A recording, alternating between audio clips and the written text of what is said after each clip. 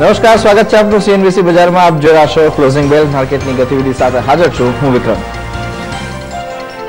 ત્યારે જો નિશા આજના ક્લોઝિંગ બેલમાં આપણે શું ચર્ચા કરવાના છે, થોડી જ વારમાં માર્કેટ પર ચર્ચા કરીશું. અને આપણી સાથે આપણા નિષ્ણાતો જોડાશે ફંડામેન્ટલ નિષ્ણાત જોડાશે પ્રતિક પટેલ.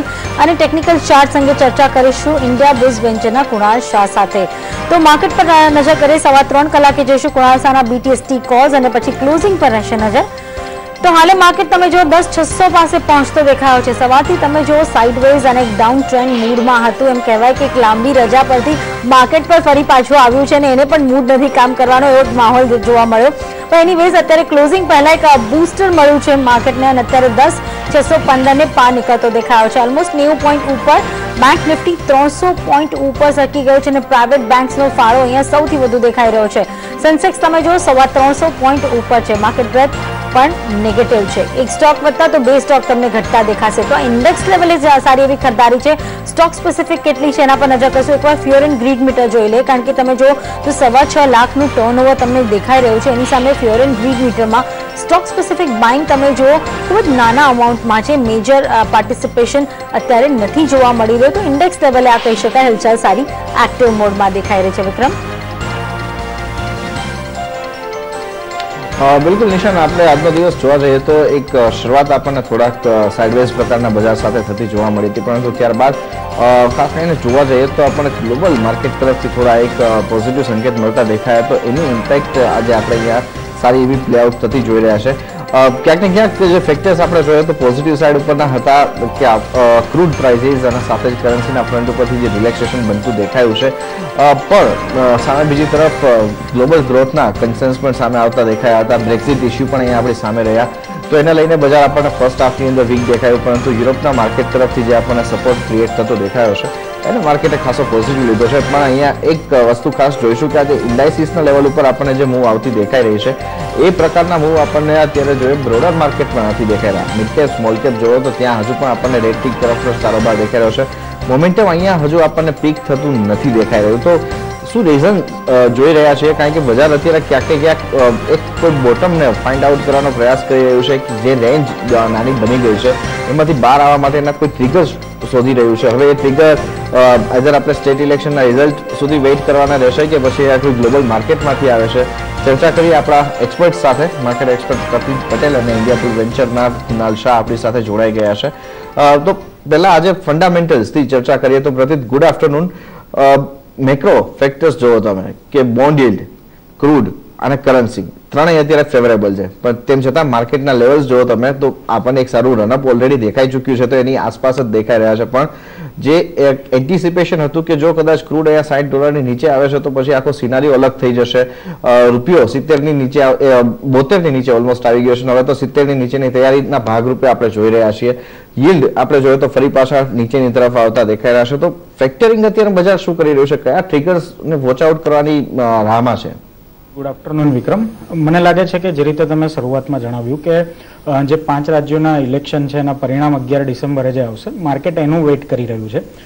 જે કારણો તમે જણાવ્યા, ચોક્કસથી મેક્રો લેવલે જે આપણે અહીંયાથી દોઢ મહિના પહેલાં એક ચિંતાનું કારણ હતું, એ બોન્ડ ડિલ્ડોએ આપણા ત્યાં કે યુએસમાં કે પછી ક્રૂડ ઓઇલના ભાવ હોય અથવા તો રૂપિયાની નબળાઈ હોય. આ બધી વસ્તુઓ નેગેટિવમાંથી પોઝિટિવ તરફ ટર્ન થઈ ગઈ છે. આપણા બોન્ડ ડીલ્ડ જોવા જઈએ દસ વર્ષના, તો એ લગભગ આઠ પોઈન્ટ ત્રેવીસના હાઈ પહોંચ્યા હતા ઓગસ્ટ એન્ડમાં ઓગસ્ટ સપ્ટેમ્બરમાં. એ લગભગ સાત પોઈન્ટ બોતેરની આસપાસ આવી ગયા છે. યુએસના દસ વર્ષના બોન્ડ ડીલ્ડ ત્રણ પોઈન્ટ છવ્વીસ ટકા પહોંચ્યા હતા, એ લગભગ ત્રણ પોઈન્ટ પાંચ ટકા આવી ગયા છે. અને જે રીતના યુએસ ગ્રોથ માટે છેલ્લા બે ત્રણ દિવસથી ચર્ચા થઈ રહી છે કે આવનાર દિવસોમાં સ્લો થઈ શકે છે. એને કારણે આવનાર સમયમાં જે એક ઝડપથી યુએસમાં રેટ હાઇકની એક સંભાવના હતી. એ બી, મે બી આવનાર સમયમાં ધીરી પડી શકે છે. તો અગેન આ એક પોઝિટિવ કારણ બની શકે છે. રૂપિયો જે ચુમ્મોતેર પચાસના લેવલે પહોંચ્યો હતો, એ સિત્તેર પચાસની આસપાસ આવી ગયો છે. અને સૌથી મેજર ફેક્ટર કે જે ઇન્ડિયન માર્કેટને નહીં, પરંતુ ઇન્ડિયન ઇકોનોમીને મેજર ઇફેક્ટ કરશે પોઝિટિવ ઇફેક્ટ કરશે છે ક્રૂડ ઓઇલના પ્રાઇઝીસ અહીંયાથી દોઢ મહિના પહેલાં લગભગ સિત્યાસી ડોલરની આસપાસ બ્રેન્ડ ક્રૂડના પ્રાઇસ પહોંચી ગયા હતા અને કોઈ પણ લોકો એક્સપેક્ટ નતા કરતા કે ક્રૂડ ઓઇલના પ્રાઇસમાં આ પ્રકારનું કરેક્શન જોવા મળશે. આજે આપણે જોવા જઈએ તો લગભગ સાઠ ડોલરની આસપાસ બ્રેન્ડ ક્રૂડના પ્રાઇસ આવી ગયા છે. મને લાગે છે કે ઇન્ડિયન ઇકોનોમી માટે આ ખાસું એવું પોઝિટિવ કારણ છે. અને એ સિવાય વિક્રમ, થોડાક ડેટા હું ડેટા મેં એનાલિસ કર્યા એનાલિસિસ કર્યા છે. ઓગણીસો નવ્વાણુંથી અત્યાર સુધીના જે ઇલેક્શનના પહેલા માર્કેટની કઈ રીતની ચાલ રહી છે. તો સામાન્ય રીતે છેલ્લા ચાર ઇલેક્શનને આપણે જોવા જઈએ તો મોટાભાગે ઇલેક્શનના એક વર્ષ કે છ મહિના પહેલાં માર્કેટમાં જે લો બન્યો હોય છે, ત્યાંથી ઇલેક્શનના પરિણામ આવે છે. ત્યાં સુધીમાં એક સારી એવી તેજી જોવા મળે છે.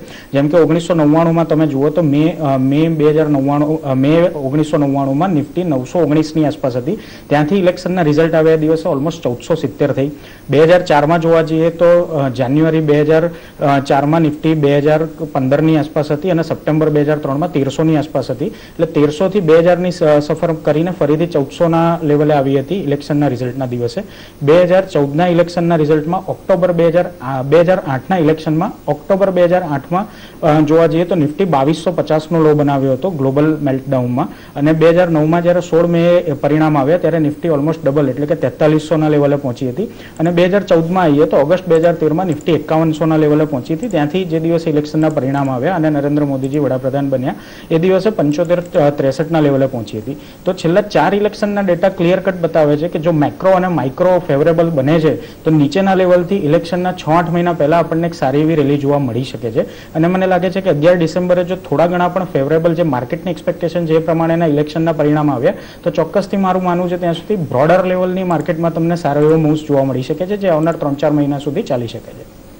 તો બ્રોડ માર્કેટ તમને વધારે સપોર્ટ કદાચ આગળ આપી જશે. આપણી સાથે કુણાલ શાહ પણ જોડાયેલા છે. કુણાલ, અત્યારે જો તમે યુરોપિયન માર્કેટ જુઓ તો ત્યાં એક જબરદસ્ત રિકવરી છે. ડાવ ફ્યુચર્સ જુઓ તો એ પણ સાથ આપી રહ્યા છે. એટલે એમ કહી શકાય કે વૈશ્વિક બજારો અત્યારે પોઝિટિવ સેન્ટિમેન્ટ જાળવવામાં સફળ થઈ રહ્યા છે. તો આપણા માર્કેટ પણ એને વધાવી રહ્યા છે અને આપણે એમના પહેલા આપણે પણ હવે પોઝિટિવ ટ્રેડ લઈ રહ્યા છે. તો ક્યાં અવરોધ નડશે ને ક્યાં સપોર્ટ મળશે નિફ્ટીને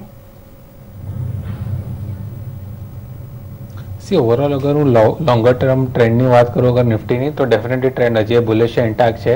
આવતા એક બે મહિનામાં આપણે જોઈ શકીએ છીએ even Nifty eleven thousand level સુધી જઈ શકે છે. આઈ થિંક અલ્ટિમેટ ટાર્ગેટ છે eleven thousand eleven thousand one hundred near ટર્મનો જ્યાં નિફ્ટી લાગે છે. બટ આઈ થિંક સિન્સ આપણે એક્સપાયરીના ક્લોઝ થાય છે, તો આઈ થિંક બ્રોડર કન્સોલિડેશન વધારે ચાલશે. નિફ્ટીએ ટેન થાઉઝન્ડ સેવન ફિફ્ટીની ઉપર ક્લોઝ આપવું પડશે. એના પછી જ એક ક્વિક મોમેન્ટમ આવશે ઇલેવન થાઉઝન્ડ સુધી. તો અગર કોઈ નિયર ટર્મ એકદમ ટ્રેડર છે, તો I think ten thousand five hundred on the down side અને અપસાઇડમાં ટેન થાઉઝન્ડ સેવન ફિફ્ટી આ ટુ ફિફ્ટી પોઈન્ટ્સની રેન્જ છે જ્યાં હું એક્સપેક્ટ કરું છું નિફ્ટીને ટ્રેડ કરવા માટે, આ વીક માટે. તો આઈ થિંક વધારે કંઈ મુવમેન્ટ નથી જોતો. અપસાઇડમાં પણ ડાઉન સાઇડમાં પણ નથી જોતો કંઈ મુવમેન્ટ આઈ થિંક કન્સોલિડેશન હશે જે ચાલશે ઇન્ડેક્સમાં નિયર ટર્મમાં તો આઈ થિંક નિયર ટર્મ ઇન્ડેક્સને અગર પ્લે પણ કરવું હોય, તો એ સ્ટીલ બાયોન ડિપ્સનો જ અપ્રોચ રાખે. કારણ કે ઇન્ટરનલ સ્ટ્રક્ચર હજી બુલિશ જ છે. આજે જે હિસાબથી રિકવરી આપી છે અને જે હિસાબથી સ્ટ્રોંગ ક્લોઝિંગ આપે છે. આઈ થિંક આપણે ten thousand seven hundred to ten thousand seven ફિફ્ટીના level સુધી એ વાપસ ખેંચી ખેંચી શકે છે. આઈ થિંક ત્યાં જ એક રેઝિસ્ટન્સ આવે છે ઇન્ડેક્સને વાપસ. તો I think overall buy on ડિપ્સનો approach રાખવો જોઈએ. છે હજી એ સેન્ટિમેન્ટ બુલિશ છે ઓવરઓલ સ્ટ્રક્ચર હજી એ બુલિશ છે ઇવેન્ચ્યુઅલી આપણે ઇલેવન થાઉઝન્ડના લેવલ જોજો આગળ જતા અ, પણ નિયર ટર્મમાં કન્સોલિડેશન એક્સપેક્ટ કરું છું માર્કેટમાં ten thousand five hundred to ten thousand seven ફિફ્ટીની રેન્જનું જ્યાં સુધી બેંક નિફ્ટીની વાત કરું તો આઈ થિંક બેંક નિફ્ટી જ્યાં સુધી છવ્વીસ હજારના નીચે ક્લોઝ નથી આપતું decisively twenty five thousand nine hundred twenty six thousand આ એક સ્ટ્રોંગ સપોર્ટ ઝોન છે બેંક નિફ્ટીને કમ્પેરેટિવલી નિફ્ટી કરતાં બેંક નિફ્ટી હજી સ્ટ્રોંગ લાગે છે નિયર ટર્મમાં બેંક નિફ્ટીને પણ હર્ડલ છે ઉપરમાં twenty six thousand so I think જ્યાં સુધી છવ્વીસ ચારસો બેંક નિફ્ટી નહીં નીકાળે ત્યાં સુધી એક વાપસ ફ્રેશ રેલી નહીં દેખાય towards twenty six thousand eight hundred twenty seven thousand so I think bank Nifty પણ કન્સોલિડેશનમાં છે twenty five thousand nine hundred lower end છે અને twenty six thousand four hundred upper end છે. તો વાપસ આપણે કન્સોલિડેશન જોશું ઇવન બેંક નિફ્ટીમાં આગળ જતા. તો next near term I mean એક વીકની વાત કરું તો મને કાંઈ મોટા મૂવ્સ નથી દેખાતા ઇન્ડેક્સમાં નિફ્ટીની વાત કરું કે બેંક નિફ્ટી બ્રોડ કન્સોલિડેશન હશે જે ચાલશે માર્કેટમાં બટ ઇવેન્ચ્યુઅલી જે રીતે આપણે વાત કરીએ યસ નિફ્ટી ઇલેવન થાઉઝન્ડ દેખાય છે અને bank Nifty twenty six thousand eight hundred to twenty seven થાઉઝન્ડના levels દેખાય છે. ઓકે તો આ લેવલ્સ અત્યારે ઇન્ડેક્સના ફ્રન્ટ ઉપર આપણે વોચ આઉટ કરવાના રહેશે. અને આજના દિવસની આ તેજી જે બજારમાં બની રહી છે, ઇન્ડેક્સ, આપણને આટલા સારા મૂવ તરફ આવતો દેખાઈ રહ્યો છે. મેજર કોન્ટ્રીબ્યુશન જોવો એચયુએલ તરફથી આવતું દેખાઈ રહ્યું છે. ચાર ટકા સુધીની મજબૂતી છે. વોલ્યુમ પર જો તમે દસ દિવસના એવરેજની સરખામણી આપણને દોઢ ગણા દેખાઈ રહ્યા છે. યુઝવલી કુનાલ આપણે જોઈએ તો એચયુએલના સ્ટોકની અંદર આ પ્રકારના મૂવ આપણને એટલે બિલ્ડ થતા નથી દેખાતા હોતા. કારણ કે વોલ્યુમના ફ્રન્ટ ઉપરથી આપણે જોઈએ તો આટલું સારું વોલ્યુમ આપણને યુઝ્યુઅલી કોઈ ન્યૂઝ હોય અથવા તો રિઝલ્ટના સમયની અંદર આવતું દેખાતું હોય છે. આજે જે આ મૂવ આવતો દેખાઈ રહ્યો છે ચાર્ટ ઉપર કેવી રીતે જોવો છો? નો જે મૂવ આવ્યો છે વોલ્યુમ સાથે ડેફિનેટલી એક ફ્રેશ બ્રેકઆઉટ આવ્યું છે. એક ફ્લેગ પેટર્નથી બ્રેકઆઉટ આપ્યું છે. સ્ટોકે ટેકનિકલ ટર્મ્સની વાત કરું. I think definitely targets higher છે સ્ટોક માટે. આ કરંટ લેવલ્સ પર પણ કોઈ સ્ટોકને બાય કરી શકે છે. ઇવન એઝ અ બીટીએસથી કોઈ સ્ટોકને બાય કરી શકે છે. આઈ થિંક ઇવન કાલે ઓપનિંગમાં આપણને સારા લેવલ્સ દેખાઈ શકે છે સ્ટોકમાં તો I think seventeen ninety two eighteen hundred જેનું પ્રીવિયસ હાઈસ છે, ત્યાંના તરફ આ સ્ટોક છે. અને ઇવેન્ચ્યુઅલી વધારે હાયર લેવલ્સ પણ આવશે. બટ નિયર ટર્મ માટે સ્ટોક ખૂબ જ બુલિશ લાગે છે. કરંટ લેવલ્સ પર પણ કોઈ બાય કરી શકે છે. કોઈ પણ ડિપ મળે વન ટુ પર્સન્ટ તો આઈડલ ઓપોર્ચ્યુનિટી છે વાપસ બાય કરવાની. અપસાઇડમાં ઇમિડિયેટલી સેવન્ટીન નાઇન્ટીના ટાર્ગેટ્સ દેખાય છે અને but eventually eighteen fifty nineteen હંડ્રેડના targets સ્ટોકમાં આવી શકે છે. તો ઓવરઓલ ટ્રેન્ડ બહુ બુલિશ છે. લોંગ ટર્મ ચાર્ટ છે બુલિશ છે. મંથલી ચાર્ટની વાત કરું તો ટેકનિકલ ટર્મ્સમાં એક મોર્નિંગ સ્ટારની પેટર્ન બનાવે છે જે ડેફિનેટલી એક બુલિશ પેટર્ન છે. તો આઈ થિંક સ્ટ્રક્ચર બુલિશ છે. ડેફિનેટલી કરંટ લેવલ્સ પર અગ્રેસિવ થઈ જવું જોઈએ. સ્ટોક પર આપણે સારા અપસાઇડ જોશું. આ સ્ટોકમાં નીચેમાં સ્ટોકને સેવન્ટીન હંડ્રેડનો એક સારો સપોર્ટ ઝોન છે બેઝ બની ગયો છે, સ્ટોકને આ બેઝથી બાઉન્સ આવ્યો છે. લાસ્ટ ટાઈમ પણ સ્ટોકે ત્યાંથી જ બાઉન્સ આપેલો, તો આઈ થિંક એક સ્ટ્રોંગ બાઉન્સ સેવન્ટીન હંડ્રેડનો લેવલ્સ પ્રૂવ કરે છે. તો આઈ થિંક આગળ જતા સેવન્ટીન નાઇન્ટી ટુ એટીન ફિફ્ટીના ટાર્ગેટ સ્ટોકમાં રાખી શકો છો. કરંટ લેવલ્સ પર પણ કોઈ બાય કરી શકે છે. કરંટ લેવલ પર પણ ખરીદારીની સલાહ અહીંયા બનતી દેખાઈ રહી છે. ત્યારે જ પ્રતીત તમે જોશો ઓટો સ્ટોક્સ આજે બઝિંગ છે અને હવે આપણે જાણીએ છીએ કે એક સેટરડેના જ આપણે ઓટો નંબર્સ પણ આવતા જોશું અને એમાં ખાસ કરીને અપેક્ષા હશે કે આજે ફેસ્ટિવલ સિઝન ગઈ છે, એનું રિફ્લેક્શન ત્યાં જોવા મળી શકે. તો શું અપેક્ષા રાખવી જોઈએ? ટુ વ્હીલર સેગમેન્ટ આજે બઝિંગ છે જે રીતે બજાજ ઓટો તમે જો હીરો મોટો કોપ જો, ત્યાં સારા રિટર્ન મળી શકે ખરા? જી ચોક્કસથી નિશા કરેક્શન જે આવવાનું હતું એ મને લાગે છે કે આવી ગયું છે ને જે બોટમ બન્યા છે ઓક્ટોબર મહિનામાં. હવે મને લાગે છે કે એ લેવલની નીચે આ બધા સ્ટોક્સ જાય તેવી શક્યતા ઓછી છે. વેલ્યુએશનની રીતે તમે જોવા જાઓ તો મોટાભાગના વેલ્યુએશન મોટાભાગના સ્ટોક્સ છે. ખાસ કરીને ટુ વ્હીલર સ્પેસમાં જોવા જઈએ તો બજાજ ઓટો અને હીરો મોટો પર લગભગ પંદર સત્તરના ટીટીએમ બેઝ પર એક્સપેક્ટેડ ટીટીએમ બેઝ પર અર્નિંગથી આ બંને સ્ટોક્સ મળી રહ્યા છે. જે મને લાગે છે કે ઘણા લાંબા સમયની એવરેજ પી રેશિયો કરતાં પણ નીચેના લેવલ છે. જે રીતના નંબર્સ આપણે જોયા છે, ખાસ કરીને બજાજ ઓટોની વાત કરવા જઈએ તો જે રીતે ફર્સ્ટ હાફમાં આપણે કંપનીનું સેલ્સ જોયું છે, ખાસું એવું એન્કરેજિંગ રહ્યું છે અને લગભગ ત્રીસ ટકાનો ગ્રોથ કંપનીએ છ મહિનામાં સેલ્સમાં બતાવ્યું છે. બોટમ લાઇન ઉપર ઇફેક્ટ જોવા મળી હતી કારણ કે માર્જિન્સ આ લોકોના પ્રેશરમાં રહ્યા હતા. પરંતુ મને લાગે છે કે બીજા હકમાં તમને માર્જિન્સ ઉપર પણ દબાણ ધીરે ધીરે ઓછું થતું જોવા મળી શકે છે. એવા સંજોગમાં જ્યારે વેલ્યુએશન એક ખાસા એવા નીચેના લેવલે આવી ગયા છે, ત્યાં મને લાગે છે કે કોઈ પણ એક પોઝિટિવ ન્યૂઝ આ બધા શેરોમાં સારી એવી તેજી બતાવી શકે છે. હીરો મોટો કોર્પમાં પણ જોવા જઈએ તો જે રીતે કંપનીએ છેલ્લા બે બે મહિનામાં તમે સેલ્સ જોવા જાઓ તો સાત લાખથી ઉપરના વ્હીકલ્સ વેચ્યા છે, જે હિસ્ટોરિકલ હાઈ લેવલ છે. તો મને લાગે છે કે એ જે ટ્રેન્ડ છે તમને આ મહિનામાં પણ જળવાયેલો જોવા મળશે અને એવા સંજોગમાં મને લાગે છે કે આ બંને સ્ટોક્સ અહીંયાથી પ્રિફર પિક સાબિત થઈ શકે છે. શોર્ટ ટર્મમાં પણ જોવા જાઓ તો મને લાગે છે કે પાંચથી સાત ટકાનો અપસાઇડ આ બંને સ્ટોક બતાવી શકે છે. અને મીડિયમ ટર્મમાં જોવા જાઓ તો આ બંને સ્ટોક ઘણા ઉપરના લેવલ બતાવી શકે છે. તો ડેફિનેટલી બંને સ્ટોકમાં બાય ડિપ્સની સ્ટ્રેટેજી સાથે કામ કરવું. હાલના સંજોગમાં મને લાગે છે કે મારુતિ કે ટાટા મોટર કરતાં હીરો મોટોકોર્પ અને બજાજ ઓટો એ ખાસ એક પ્રિફર પિક સાબિત થઈ શકે છે. કારણ કે વેલ્યુએશન ખાસા હવે એટ્રેક્ટિવ બની ગયા છે. ઓકે. પણ પ્રદીપ, સાથે જ મોટો સેક્ટરની વાત થઈ રહી છે, તો આજે મહિન્દ્રા એન્ડ મહિન્દ્રાની ચર્ચા કર્યા વગર રહેવાશે નહીં, કારણ કે અલ્ટુરસ, આ એક અલ્ટુરસ જી ફોર આ સ્પેસિફિક આ મોડેલ જે બે વેરિયન્ટમાં ટુ ડ્રાઈવ વ્હીલ ડ્રાઈવ અને ફોર વ્હીલ ડ્રાઈવના સેગમેન્ટની અંદર લોન્ચ કર્યું છે. બંને મોડેલ ડીઝલ વેરિયન્ટમાં છે. અને અટ્રેક્ટિવ વસ્તુ એ છે કે પ્રથમ વખત આપણે જોઈએ તો જે એક્ઝિસ્ટિંગ મોડલ છે ફોર્ડ એન્ડેવર અને ફોર્ચ્યુનર ટોયોટાની જે છે, એના કરતાં થોડી કિંમતમાં પણ વધારે છે અને એ લેવલની કોમ્પિટિશનમાં કંપની તરફથી આ મોડલ લોન્ચ કરવામાં આવ્યો છે જે પ્રકારના વેરિયન્ટ અને જે પ્રકારના સ્પેસિફિકેશન આપણે મોડલની અંદર કંપનીને યુઝ કરતા જોયા છે. તો એને જોતા આ એક સેગમેન્ટ અને એના માટે થઈને આખું એક અલગથી જે સેગમેન્ટ પણ મહિન્દ્રા તરફથી હમણાં જે ઇન્ટ્રોડ્યુસ થયું છે વર્લ્ડ ઓફ એસયુવી હવે એ શોરૂમની અંદર જ આ કારનું વેચાણ થતું દેખાશે. સત્યાવીસ લાખ અને ત્રીસ લાખ. આ કિંમત નક્કી કરવામાં આવેલી છે આ કાર માટેની. શું એન્ટિસિપેટ કરવું જોઈએ? કારણ કે સ્કોર્પિયો બાદ આ એક ઘણું એમ્બિશિયસ લોન્ચ છે. જુઓ વિક્રમ થોડાક દિવસ પહેલા જ આપણે જોયું કે એક નાના સેગમેન્ટની એક કાર લોન્ચ કરી. હાલમાં જોવા જઈએ તો અગેન એક આ એક એવું સેગમેન્ટ છે કે જેનો ક્લાસ અલગ છે. પચીસ લાખથી પાંત્રીસ લાખનું એક સેગમેન્ટ છે કે જેનો ક્લાસ અલગ છે ને એમાં ખાસ ગ્રોથ ડિમાન્ડ જોવા મળી રહી છે. ઇવન પંદરથી પચીસ લાખનું એક સેગમેન્ટ છે, ત્યાં પણ મહિન્દ્રાની હાજરી છે ને એ સેગમેન્ટ પણ ખાસું એવું ગ્રો કરી રહ્યું છે.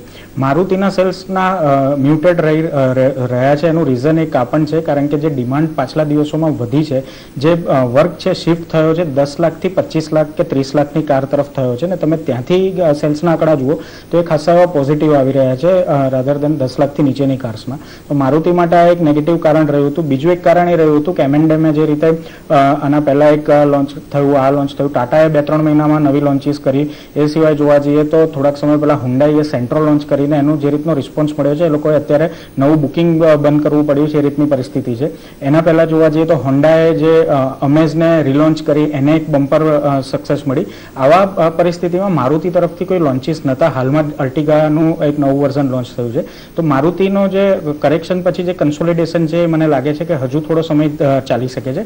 કમ્પેરેટિવલી એમએનડેમની વાત કરવા જઈએ તો ચોક્કસથી જે રીતે નવા નવા લોન્ચીસ થઈ રહ્યા છે અને આવનાર ત્રણથી છ મહિનામાં એમએનડેમ તરફથી હજુ એક બે નવા લોન્ચીસની સંભાવના બની રહી છે, જે રીતનું મેનેજમેન્ટે પાસ્ટમાં જણાવ્યું હતું તો. મને લાગે છે કે જે રીતે નવા લોન્ચીસ આવી રહ્યા છે, સાથે ટ્રેક્ટર સેલ્સને જોવા જઈએ તો એક સ્ટડી લેવલે ચાલી રહ્યું છે અને ક્રૂડ ઓઇલના ભાવ ઘટ્યા છે, એની મેજર ઇમ્પેક્ટ પણ આ સેગમેન્ટમાં જોવા મળી શકે છે. તો ડેફિનેટલી મારુતિ અને એમએનડેમની કમ્પેરિઝન જોવા જઈએ તો મને લાગે છે કે મારુતિ હાલમાં એક કન્સોલિડેશનમાં રહી શકે છે, પણ એમએનડેમ ચોક્કસથી મારી સલાહ રહેશે કે સાતસો વીસ, સાતસો પચાસની વચ્ચે એક્યુમ્યુલેટ કરી શકાય. અહીંયાથી એટલીસ્ટ જે કરેક્શન આવ્યું છે પચાસ ટકાનું રિટ્રેસમેન્ટ આવે છે, તો પણ સ્ટોક તમને આઠસો પંચોતેર, આઠસો એંસી સુધીના લેવલ્સ આવનાર છ મહિનાની અંદર ઇઝીલી બતાવી શકે છે. તમે પર અત્યારે વ્યૂ બનતો દેખાયો છે. હુડકોના પરિણામો આવ્યા છે. એક પર નજર કરી લઈએ નફો તમે જો બસો ને છાસઠ કરોડથી વધી બસો બ્યાસી કરોડ આવ્યો છે. આવક તમે જો નવસો ને ઓગણસાઠ કરોડથી વધી બારસો ને ચોવીસ કરોડ આવી છે. અને તમે ક્વાર્ટર ટુમાં જો આવક એની જુઓ, તો લગભગ સત્યાવીસ ટકા વધી છે. એટલે બાયોવા બેસિસ પર એક ઉછાળો ચોક્કસ જોવા મળ્યો છે. અને આ પરિણામોને પગલે તમે આ કાઉન્ટર પર નજર કરો સડન એક સ્પાઇક તમને જોવા મળશે.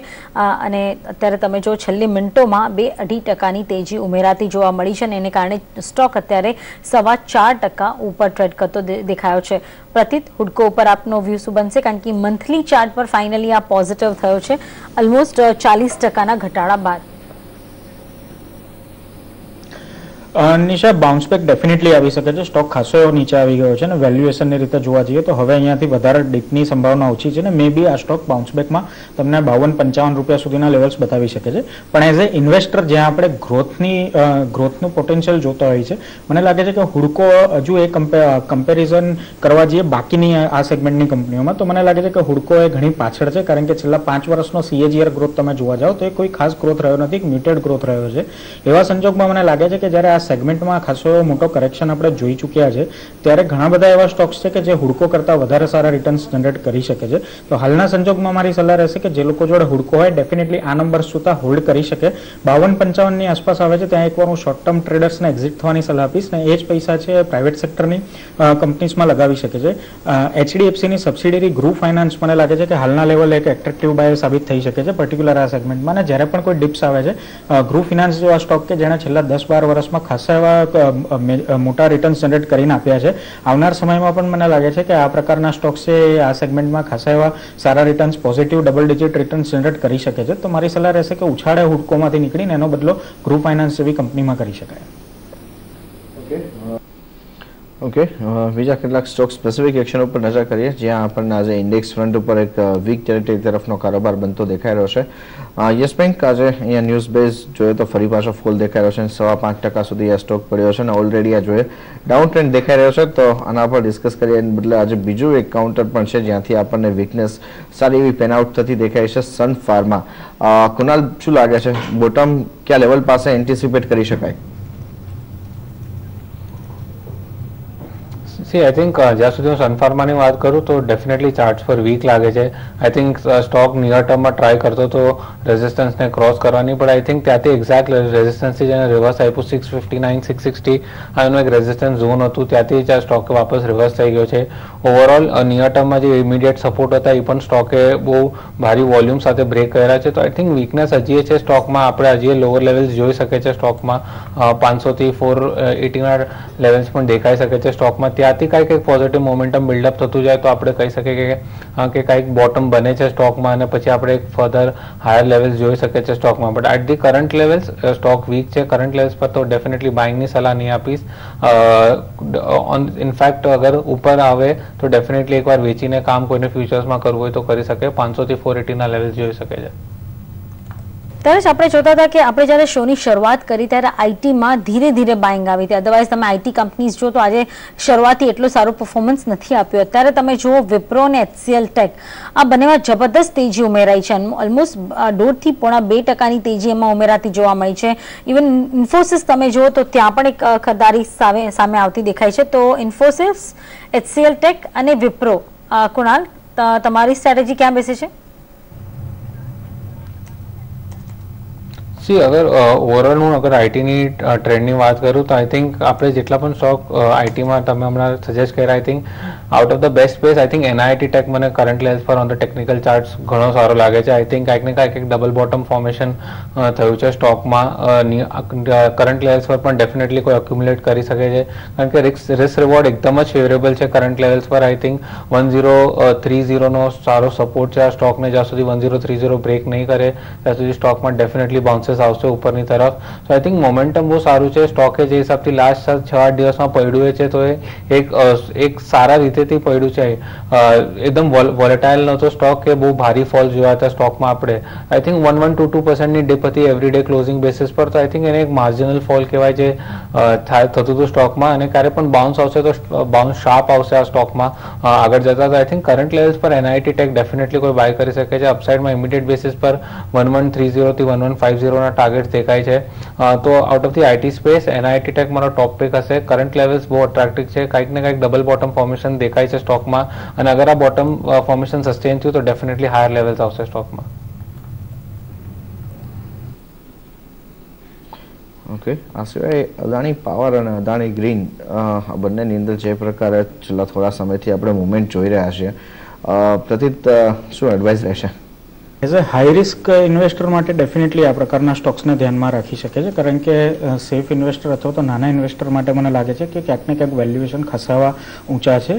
ડેફિનેટલી જે રીતનો પોર્ટફોલિયો આ બંને કંપની પાસે છે, જેમ કે અદાણી પાવરની વાત કરવા જઈએ તો જે કોલ બેઝ જે મે- જે પાવર પ્લાન્ટ્સ છે, એમાં સૌથી મોટી કેપેસિટી હાલમાં પ્રાઇવેટ સેક્ટરની કંપનીઓમાં જોવા જઈએ તો આ કંપની પાસે છે. ને આવનાર દિવસોમાં આપણે જોવા જઈએ તો પાવર સેક્ટર જે અત્યાર સુધી એવું હતું કે પાવરની જે ડેફિસિટ હતી, કારણ કે ઘણી બધી જગ્યા સુધી પાવર પહોંચ્યો નહોતો. જે રીતે ગવર્મેન્ટે છેલ્લા ચાર વર્ષમાં કામ કર્યું છે, આવનાર દિવસોમાં હવે પાવરની ડિમાન્ડ છે ખાસી વધતી જોવા મળી શકે છે ને જે અત્યારે પાવર સરપ્લસ છે મે બી આવનાર સમયમાં શોર્ટેજ તરફ જઈ શકે છે અને એ સંજોગોમાં પાવર સેક્ટર ફરીથી એક રિવાઇવ રિવાઇવલ તરફ આગળ વધી શકે છે અને એનો સૌથી મોટો બેનિફિટ અદાણી પાવર જેવી કંપનીને મળી શકશે. કારણ કે આ કંપની પાસે જોવા જઈએ તો જીઓગ્રાફિકલ વાઇઝ સારી સારી જગ્યાએ પાવર એસેટ્સ છે ને એનું પ્રોપર યુટિલાઇઝેશન થતાં કંપનીના બોટમ લાઇન ઉપર પોઝિટિવ ઇફેક્ટ જોવા મળશે. સ્ટોક છેલ્લા અ, ત્રણ ચાર મહિનામાં જોવા જઈએ તો લગભગ પંદર રૂપિયાથી વધીને પચાસ રૂપિયા થઈ ગયો છે. એટલે કે ત્રણ ગણો ઓલરેડી થઈ ચૂક્યો છે. એટલે આ ભાવે જે રીતે મેં પહેલાં જ જણાવ્યું કે સેફ ઇન્વેસ્ટર માટે આ સ્ટોક નથી પરંતુ જે લોકો એગ્રેસિવ ઇન્વેસ્ટર છે જે લોકો સ્ટોપલોસ સાથે ટ્રેડ કરી શકે છે ડેફિનેટલી એ લોકોએ ડિપ્સમાં ધ્યાન રાખવું જોઈએ અને જે રીતનું મોમેન્ટમ આ સ્ટોકમાં થયું છે. એ યથાવત રહેશે તો મે બી સ્ટોક અહીંયાથી આવનાર છ મહિનામાં બાસઠ, પાસઠ રૂપિયા સુધીના લેવલ્સ તરફ પણ જઈ શકે છે. સેમ વસ્તુ તમે અદાણી ગ્રીનની વાત કરવા જાઓ તો જે સોલાર બેઝ એનર્જી ઉપર ગવર્મેન્ટનું ફોકસ છે અને જે રીતનું એક એમ્બિશિયસ ટાર્ગેટ સાથે ગવર્મેન્ટ આગળ વધી રહી છે, બે હજાર બાવીસ સુધીના જે એમને લક્ષ્યાંક જાહેર કર્યા છે કે આટલા મેગાવોટ સુધી આપણે એનું પ્રોડક્શન પહોંચાડવું છે. એનો સૌથી મોટો મેજર બેનિફિશિયરી જોવા જઈએ તો અદાણી ગ્રીન છે, કારણ કે જે રીતની કેપેસિટી આ કંપની અત્યારે ઊભી કરી દીધી છે ને આવનાર સમયમાં જે રીતની કેપેસિટી પાઇપલાઇનમાં છે, એ જોતા અને જે નવી કેપેસિટી નવી એડ ઓન કરવાની સંભાવના છે, આ બધી વસ્તુઓ જોતા મને લાગે છે કે ત્રણ પાંચ વર્ષ પછી જ્યારે આપણે આના વેલ્યુએશન જોઈશું ડેફિનેટલી આ સ્ટોક ઘણા સારા બેલેન્સ શીટ ઘણી સારા નંબર્સ ઉપર બેઠેલો હશે. હાલના લેવલે જોવા જઈએ તો અગેન વેલ્યુએશન કન્સર્ન આ સ્ટોકમાં છે, પરંતુ જે લોકો એગ્રેસિવ ટ્રેડર્સ છે ડેફિનેટલી એક સ્ટોપલોસ સાથે અહીંયાથી દસ બાર ટકાના એક નીચેના સ્ટોપલોસ સાથે પોઝિશન લઈ શકે છે. મે બી આ સ્ટોકમાં પણ છ મહિનાનો વ્યૂ લઈને ચાલીએ, તો પાસઠ રૂપિયા સુધીના લેવલને એક્સપેક્ટેશન રાખી શકાય. ઓકે. ત્યારે તમે જો કુણાલે જે એનઆઈટી ટેક્સ સજેસ્ટ કર્યું છે, ત્યાં પણ અત્યારે જબરદસ્ત તેજી થઈ છે. પોણા ત્રણ ટકાની તેજી ઉમેરાતી જોવા મળી છે. તો એનઆઈટી ટેક અત્યારે એક સારી એક બેટ ટેકનિકલી જોવા મળી રહી છે. ત્યારે તમે જો બંધન બેંકમાં પણ જબરદસ્ત રિકવરી આવી છે. ઓલમોસ્ટ આ અઢી ત્રણ ટકા ઘટીને હતો આ કાઉન્ટર હવે તમે જો આ રિકવરી જે આવી છે, પોણા ત્રણ ટકાની, એનાથી પોઝિટિવ થયો છે. એટલે ઓલમોસ્ટ કહી શકાય કે બંધન બેંકે તમે મંથલી ચાર્ટ પર જુઓ તો ઓલમોસ્ટ સોળ ટકાની આસપાસના આસપાસના રિટર્ન આપ્યા છે. લાંબા ચાર્ટ નહીં હોય કુણાલ આપની પાસે, પણ બંધન બેંક કેવું લાગે છે? આઈ થિંક કરંટ લેવલ્સ પર અગર બંધન બેંકની વાત કરું તો I think four ninety five હંડ્રેડનો એક રેઝિસ્ટન્સ છે સ્ટોકને નીચેમાં સપોર્ટ છે ઇમિડિયેટ ફોર ટ્વેન્ટીનો તો આઈ થિંક મોર ઓર આ એક રેન્જ બાઉન્ડ સ્ટોક લેશે. આગળ જતાં પણ સ્ટોક કાંઈક ને કાંઈક એક રેન્જ બાઉન્ડ ફોર્મેશન જ ફોર્મ કરે છે. તો હું કંઈ વધારે અપસાઇડ નથી જોતો સ્ટોકમાં કરંટ લેવલ્સ પર આઈ થિંક પાંચસોની ઉપર ક્લોઝ આપે તો ડેફિનેટલી કોઈ બાય કરવું જોઈએ. ત્યાંથી એક સારી મોમેન્ટમ બિલ્ડ થતી દેખાઈ શકે છે ફાઇવ ટ્વેન્ટી ફાઇવ ફાઇવ થર્ટીના લેવલ સુધીની. ઓવરઓલ કરંટ લેવલ્સ પર હું કહીશ કે અવોઇડ કરે સ્ટોકને ફાઇવ હંડ્રેડના લેવલ્સની અગર ઉપર ડિસાઇસિવ ક્લોઝ આપે, તો ડેફિનેટલી લોંગ કરવું જોઈએ. આ ઉપરાંત અહીંયા એચઈજી ઉપર નજર કરો એક રોબસ્ટ સ્ટોક રહ્યા બાદ અત્યારે હવે જોઈએ તો કંપનીના બોર્ડની આજે શેર્સ બાયબેક માટેની બેઠક હતી, જેમાં સાડા તેર લાખ શેર્સ બાયબેક કરવા માટેની બોર્ડની મંજૂરી મળી ગઈ છે અને પંચાવનસો રૂપિયા પ્રતિ શેરના ભાવે આ બાયબેક કરવામાં આવી રહ્યું છે. ઓલમોસ્ટ અત્યારે જે કરંટ માર્કેટ પ્રાઇસ છે, ત્યાંથી તમે જુઓ તો ઓલમોસ્ટ પચીસ ટકાનું પ્રીમિયમ સાથેનું આ બાયબેક થતું દેખાઈ રહ્યું છે. સ્ટોક ઓલરેડી જોઈએ તો આપણને ઘણા સારા પોઝિટિવ રિએક્શનમાં તો દેખાયા જ રહ્યો છે માર્કેટના કરેક્શનની વચ્ચે પ્રતિ જોવો તમે તો ટ્રેન્ડ આખો અહીંયા આપણને જે બનતો દેખાયો છે આ સ્ટોક માટે અને આ પ્રીમિયમ સાથેનું જે બાયબેક છે, કેવી રીતે જોવું જોઈએ? કારણ કે છેલ્લા થોડા સમયની અંદર તો ખાસી એવી કેશ રીત થઈ છે કંપની સિનારીઓ આ સેક્ટર માટે બદલાયો છે. એ ડેફિનેટલી હજુ આગળ વધી શકે છે. અને તમે જુઓ નંબર્સ ગયા વર્ષમાં કંપનીનો નફો લગભગ અગિયારસો કરોડની આસપાસ હતો અને આ વખતે માત્ર સપ્ટેમ્બર ક્વાર્ટરમાં જોવા જઈએ તો લગભગ કંપનીએ નવસો કરોડની આસપાસનો નફો બતાવ્યો છે. જે ગ્લોબલ લેવલે ગ્રેફાઇટ ઇલેક્ટ્રોડનો જે સિનારીઓ ઇન્ડસ્ટ્રીનો સિનારીઓ ચેન્જ થયો છે. એનો મેજર બેનિફિશિયરી એચઈજી અને ગ્રેફાઇટ રહ્યા છે. અને આ કંપનીઓએ પાછલા દિવસોમાં શેરહોલ્ડરોને રિવોર્ડ પણ આપ્યા છે. તમે જુઓ એચઈજીની વાત કરવા જઈએ તો લગભગ છેલ્લા છ આઠ મહિનાની અંદર કંપનીએ એકસો દસ રૂપિયાનું ડિવિડન્ડ ચૂકવી દીધું છે. મને લાગે છે કે આ પ્રકારની એનાઉન્સમેન્ટો આવનાર દિવસોમાં હજુ આવી શકે છે, કારણ કે જે રીતનું એક ચેન્જિંગ ચેન્જીસ આપણે જોયા છે ઇન્ડસ્ટ્રીમાં. જો આ આવનાર ત્રણ ચાર ક્વાર્ટર પણ રહે છે, તો કંપની પાસે એટલી મોટી કેશ આવી શકે છે કે જેનો ક્યાં યુઝ કરવો એ એક ક્વેશ્ચન બની શકે છે. અને આ સેક્ટરમાં જોવા જઈએ તો કોઈ મેજર એક્સપાન્શન આવનાર દિવસોમાં આવે તેવી સંભાવના નથી. તો જે બાકીની કેશ છે ડેફિનેટલી આ પ્રકારે શેરહોલ્ડરને રિવોર્ડ આપવા તરફ યુઝ થઈ શકે છે. જે રીતની બાયબેકની ઓફર જાહેર થઈ છે, મને લાગે છે કે ભાવ ઘણો ઊંચો છે, પરંતુ જે શેરની ક્વોન્ટિટી છે, હાલના લેવલે પણ નીચી કહી શકાય, ઓછી કહી શકાય, કારણ કે ઓવરઓલ તમે જોવા જાઓ તો ચાલીસ કરોડની આસપાસની કંપનીની ઇક્વિટી છે, એની કમ્પેરિઝનમાં જે તેર ચૌદ લાખ શેરનું બાયબેક સાડા તેર લાખ શેરનું બાયબેક છે, એટલે કોઈ ડેફિનેટલી એક શેરહોલ્ડરો તરફ મેનેજમેન્ટનો જે પ્રયત્ન છે એ પોઝિટિવ કહી શકાય, પણ બાયબેકની સાઇઝ એટલી મોટી નથી કે જેને કારણે આ સ્ટોકમાં મોટી તેજી થઈ શકે. મને લાગે છે કે શોર્ટ ટર્મમાં હજુ પણ આ સ્ટોક જે રેન્જમાં ચાલી રહ્યો છે રેન્જમાં યથાવત રહેશે. ચાર હજારની આસપાસ તમને બાઇંગ જોવા મળશે. ઉપરમાં સુડતાલીસો અડતાલીસોની આસપાસ પ્રોફિટ બુકિંગ પણ જોવા મળી શકે છે. તો એચજીના બાયબેકની ખબરોને કારણે આપણે એક સડન સ્પાઇક જોઈ રહ્યા છે. ઓલરેડી સારા રિટર્ન આ કાઉન્ટરે આપી દીધા છે અને હવે બોર્ડ અપ્રૂવ કરી ચૂક્યું છે. આ બાયબેકને સાડા તેર લાખ શેર્સ બાયબેક થશે.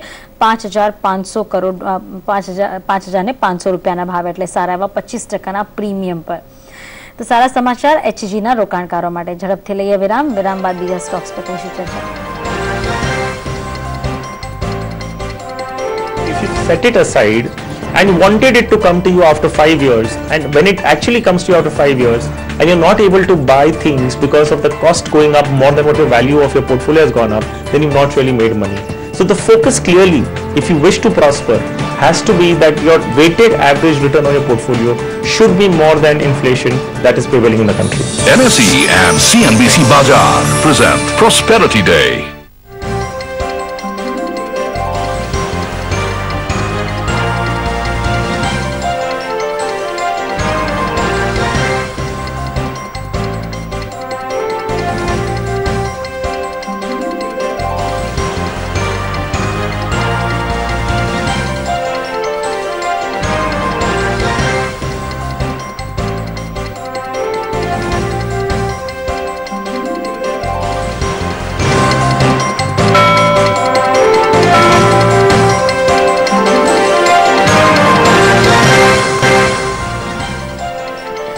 વિરામ સ્વાગત છે ત્યારે દસ છસો ચોવીસના લેવલ હજુ પણ નિફ્ટી પર સસ્ટેન થઈ રહ્યા છે એટલે એક ટકા એક ટકાની તેજી અત્યારે બનતી દેખાય છે. બેંક નિફ્ટી, તમે જુઓ હવે ત્રણસો છત્રીસ પોઈન્ટ ઉપર છે, પણ કન્સોલિડેશન અત્યારે બ્રોડર માર્કેટમાં થઈ રહ્યું છે. ક્યાં દબાણ છે? તમે જુઓ ફ્રેશ સેલિંગ જે આવતી દેખાઈ રહી છે, એના પર એકવાર નજર કરીએ તો તમે જો Tata coffee Aban offshore ACC ત્યાં તમને એક વધુ પ્રેશર આવતું જોવા મળશે બ્રોડર માર્કેટમાં સાથે જ વર્પુલ તમે જુઓ Cox and Kings LT Foods REC Kansai Nerolac જેવા કાઉન્ટર ઇવન આઈજીએલ એમજીએલ પર તો આજના સવારના આપણે જોઈ રહ્યા હતા બ્રોકરેજ હાઉસના વ્યૂ હતા.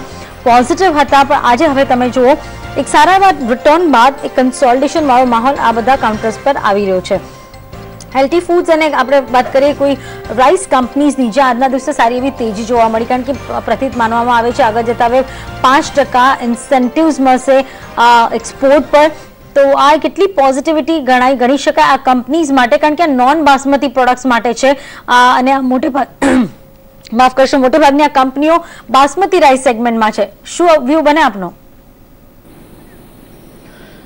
નિશા, આ સેક્ટરમાં લિસ્ટેડ કંપનીઓ જોવા જઈએ તો ચાર પાંચ કંપનીઓ છે, જેમાંની બે ત્રણ કંપનીઓ એવી છે કે જે આગળ જતાં સારું પરફોર્મન્સ આપી શકે છે. જેમાંથી એલટી ફૂડ ચોક્કસથી કહી શકાય, કારણ કે જે બ્રાન્ડ છે, આ કંપની પાસે સારી એવી છે અને બ્રાન્ડનું માર્કેટમાં ખાસું એવું નામ છે. તો એવા સંજોગમાં એલટી ફૂડ એક ચોક્કસથી ધ્યાનમાં રાખી શકાય. પરંતુ બે કંપની જે મને પસંદ છે, એમાંની એક છે કેઆરબીએલ કેઆરબીએલ જોવા જઈએ તો કન્સિસ્ટન્ટ પરફોર્મન્સ છેલ્લા પાંચ સાત વર્ષોમાં આ કંપનીનો રહ્યો છે અને સાથે જોવા જઈએ તો આ કંપનીનું જે પરફોર્મન્સ માત્ર શેર પ્રાઇઝની રીતે નહીં, પરંતુ ફાઇનાન્શિયલ રીતે પણ તમે જુઓ કંપનીની બ્રાન્ડ્સ જુઓ, દરેક બે ત્રણ વર્ષે કંપની નવી બ્રાન્ડ્સ બનાવે છે ને એને સારું એવું માર્કેટિંગ કરીને માર્કેટમાં લીડર બનાવે છે. તો આવા સંજોગમાં મને લાગે છે કે કેઆરબીએલ જેવા સ્ટોક છે કે જે ઉપરના લેવલથી ખાસા કરેક્ટ પણ થઈ શક્યા થઈ ચૂક્યા છે. એને એક મોટો બેનિફિટ બની, મળી શકે છે.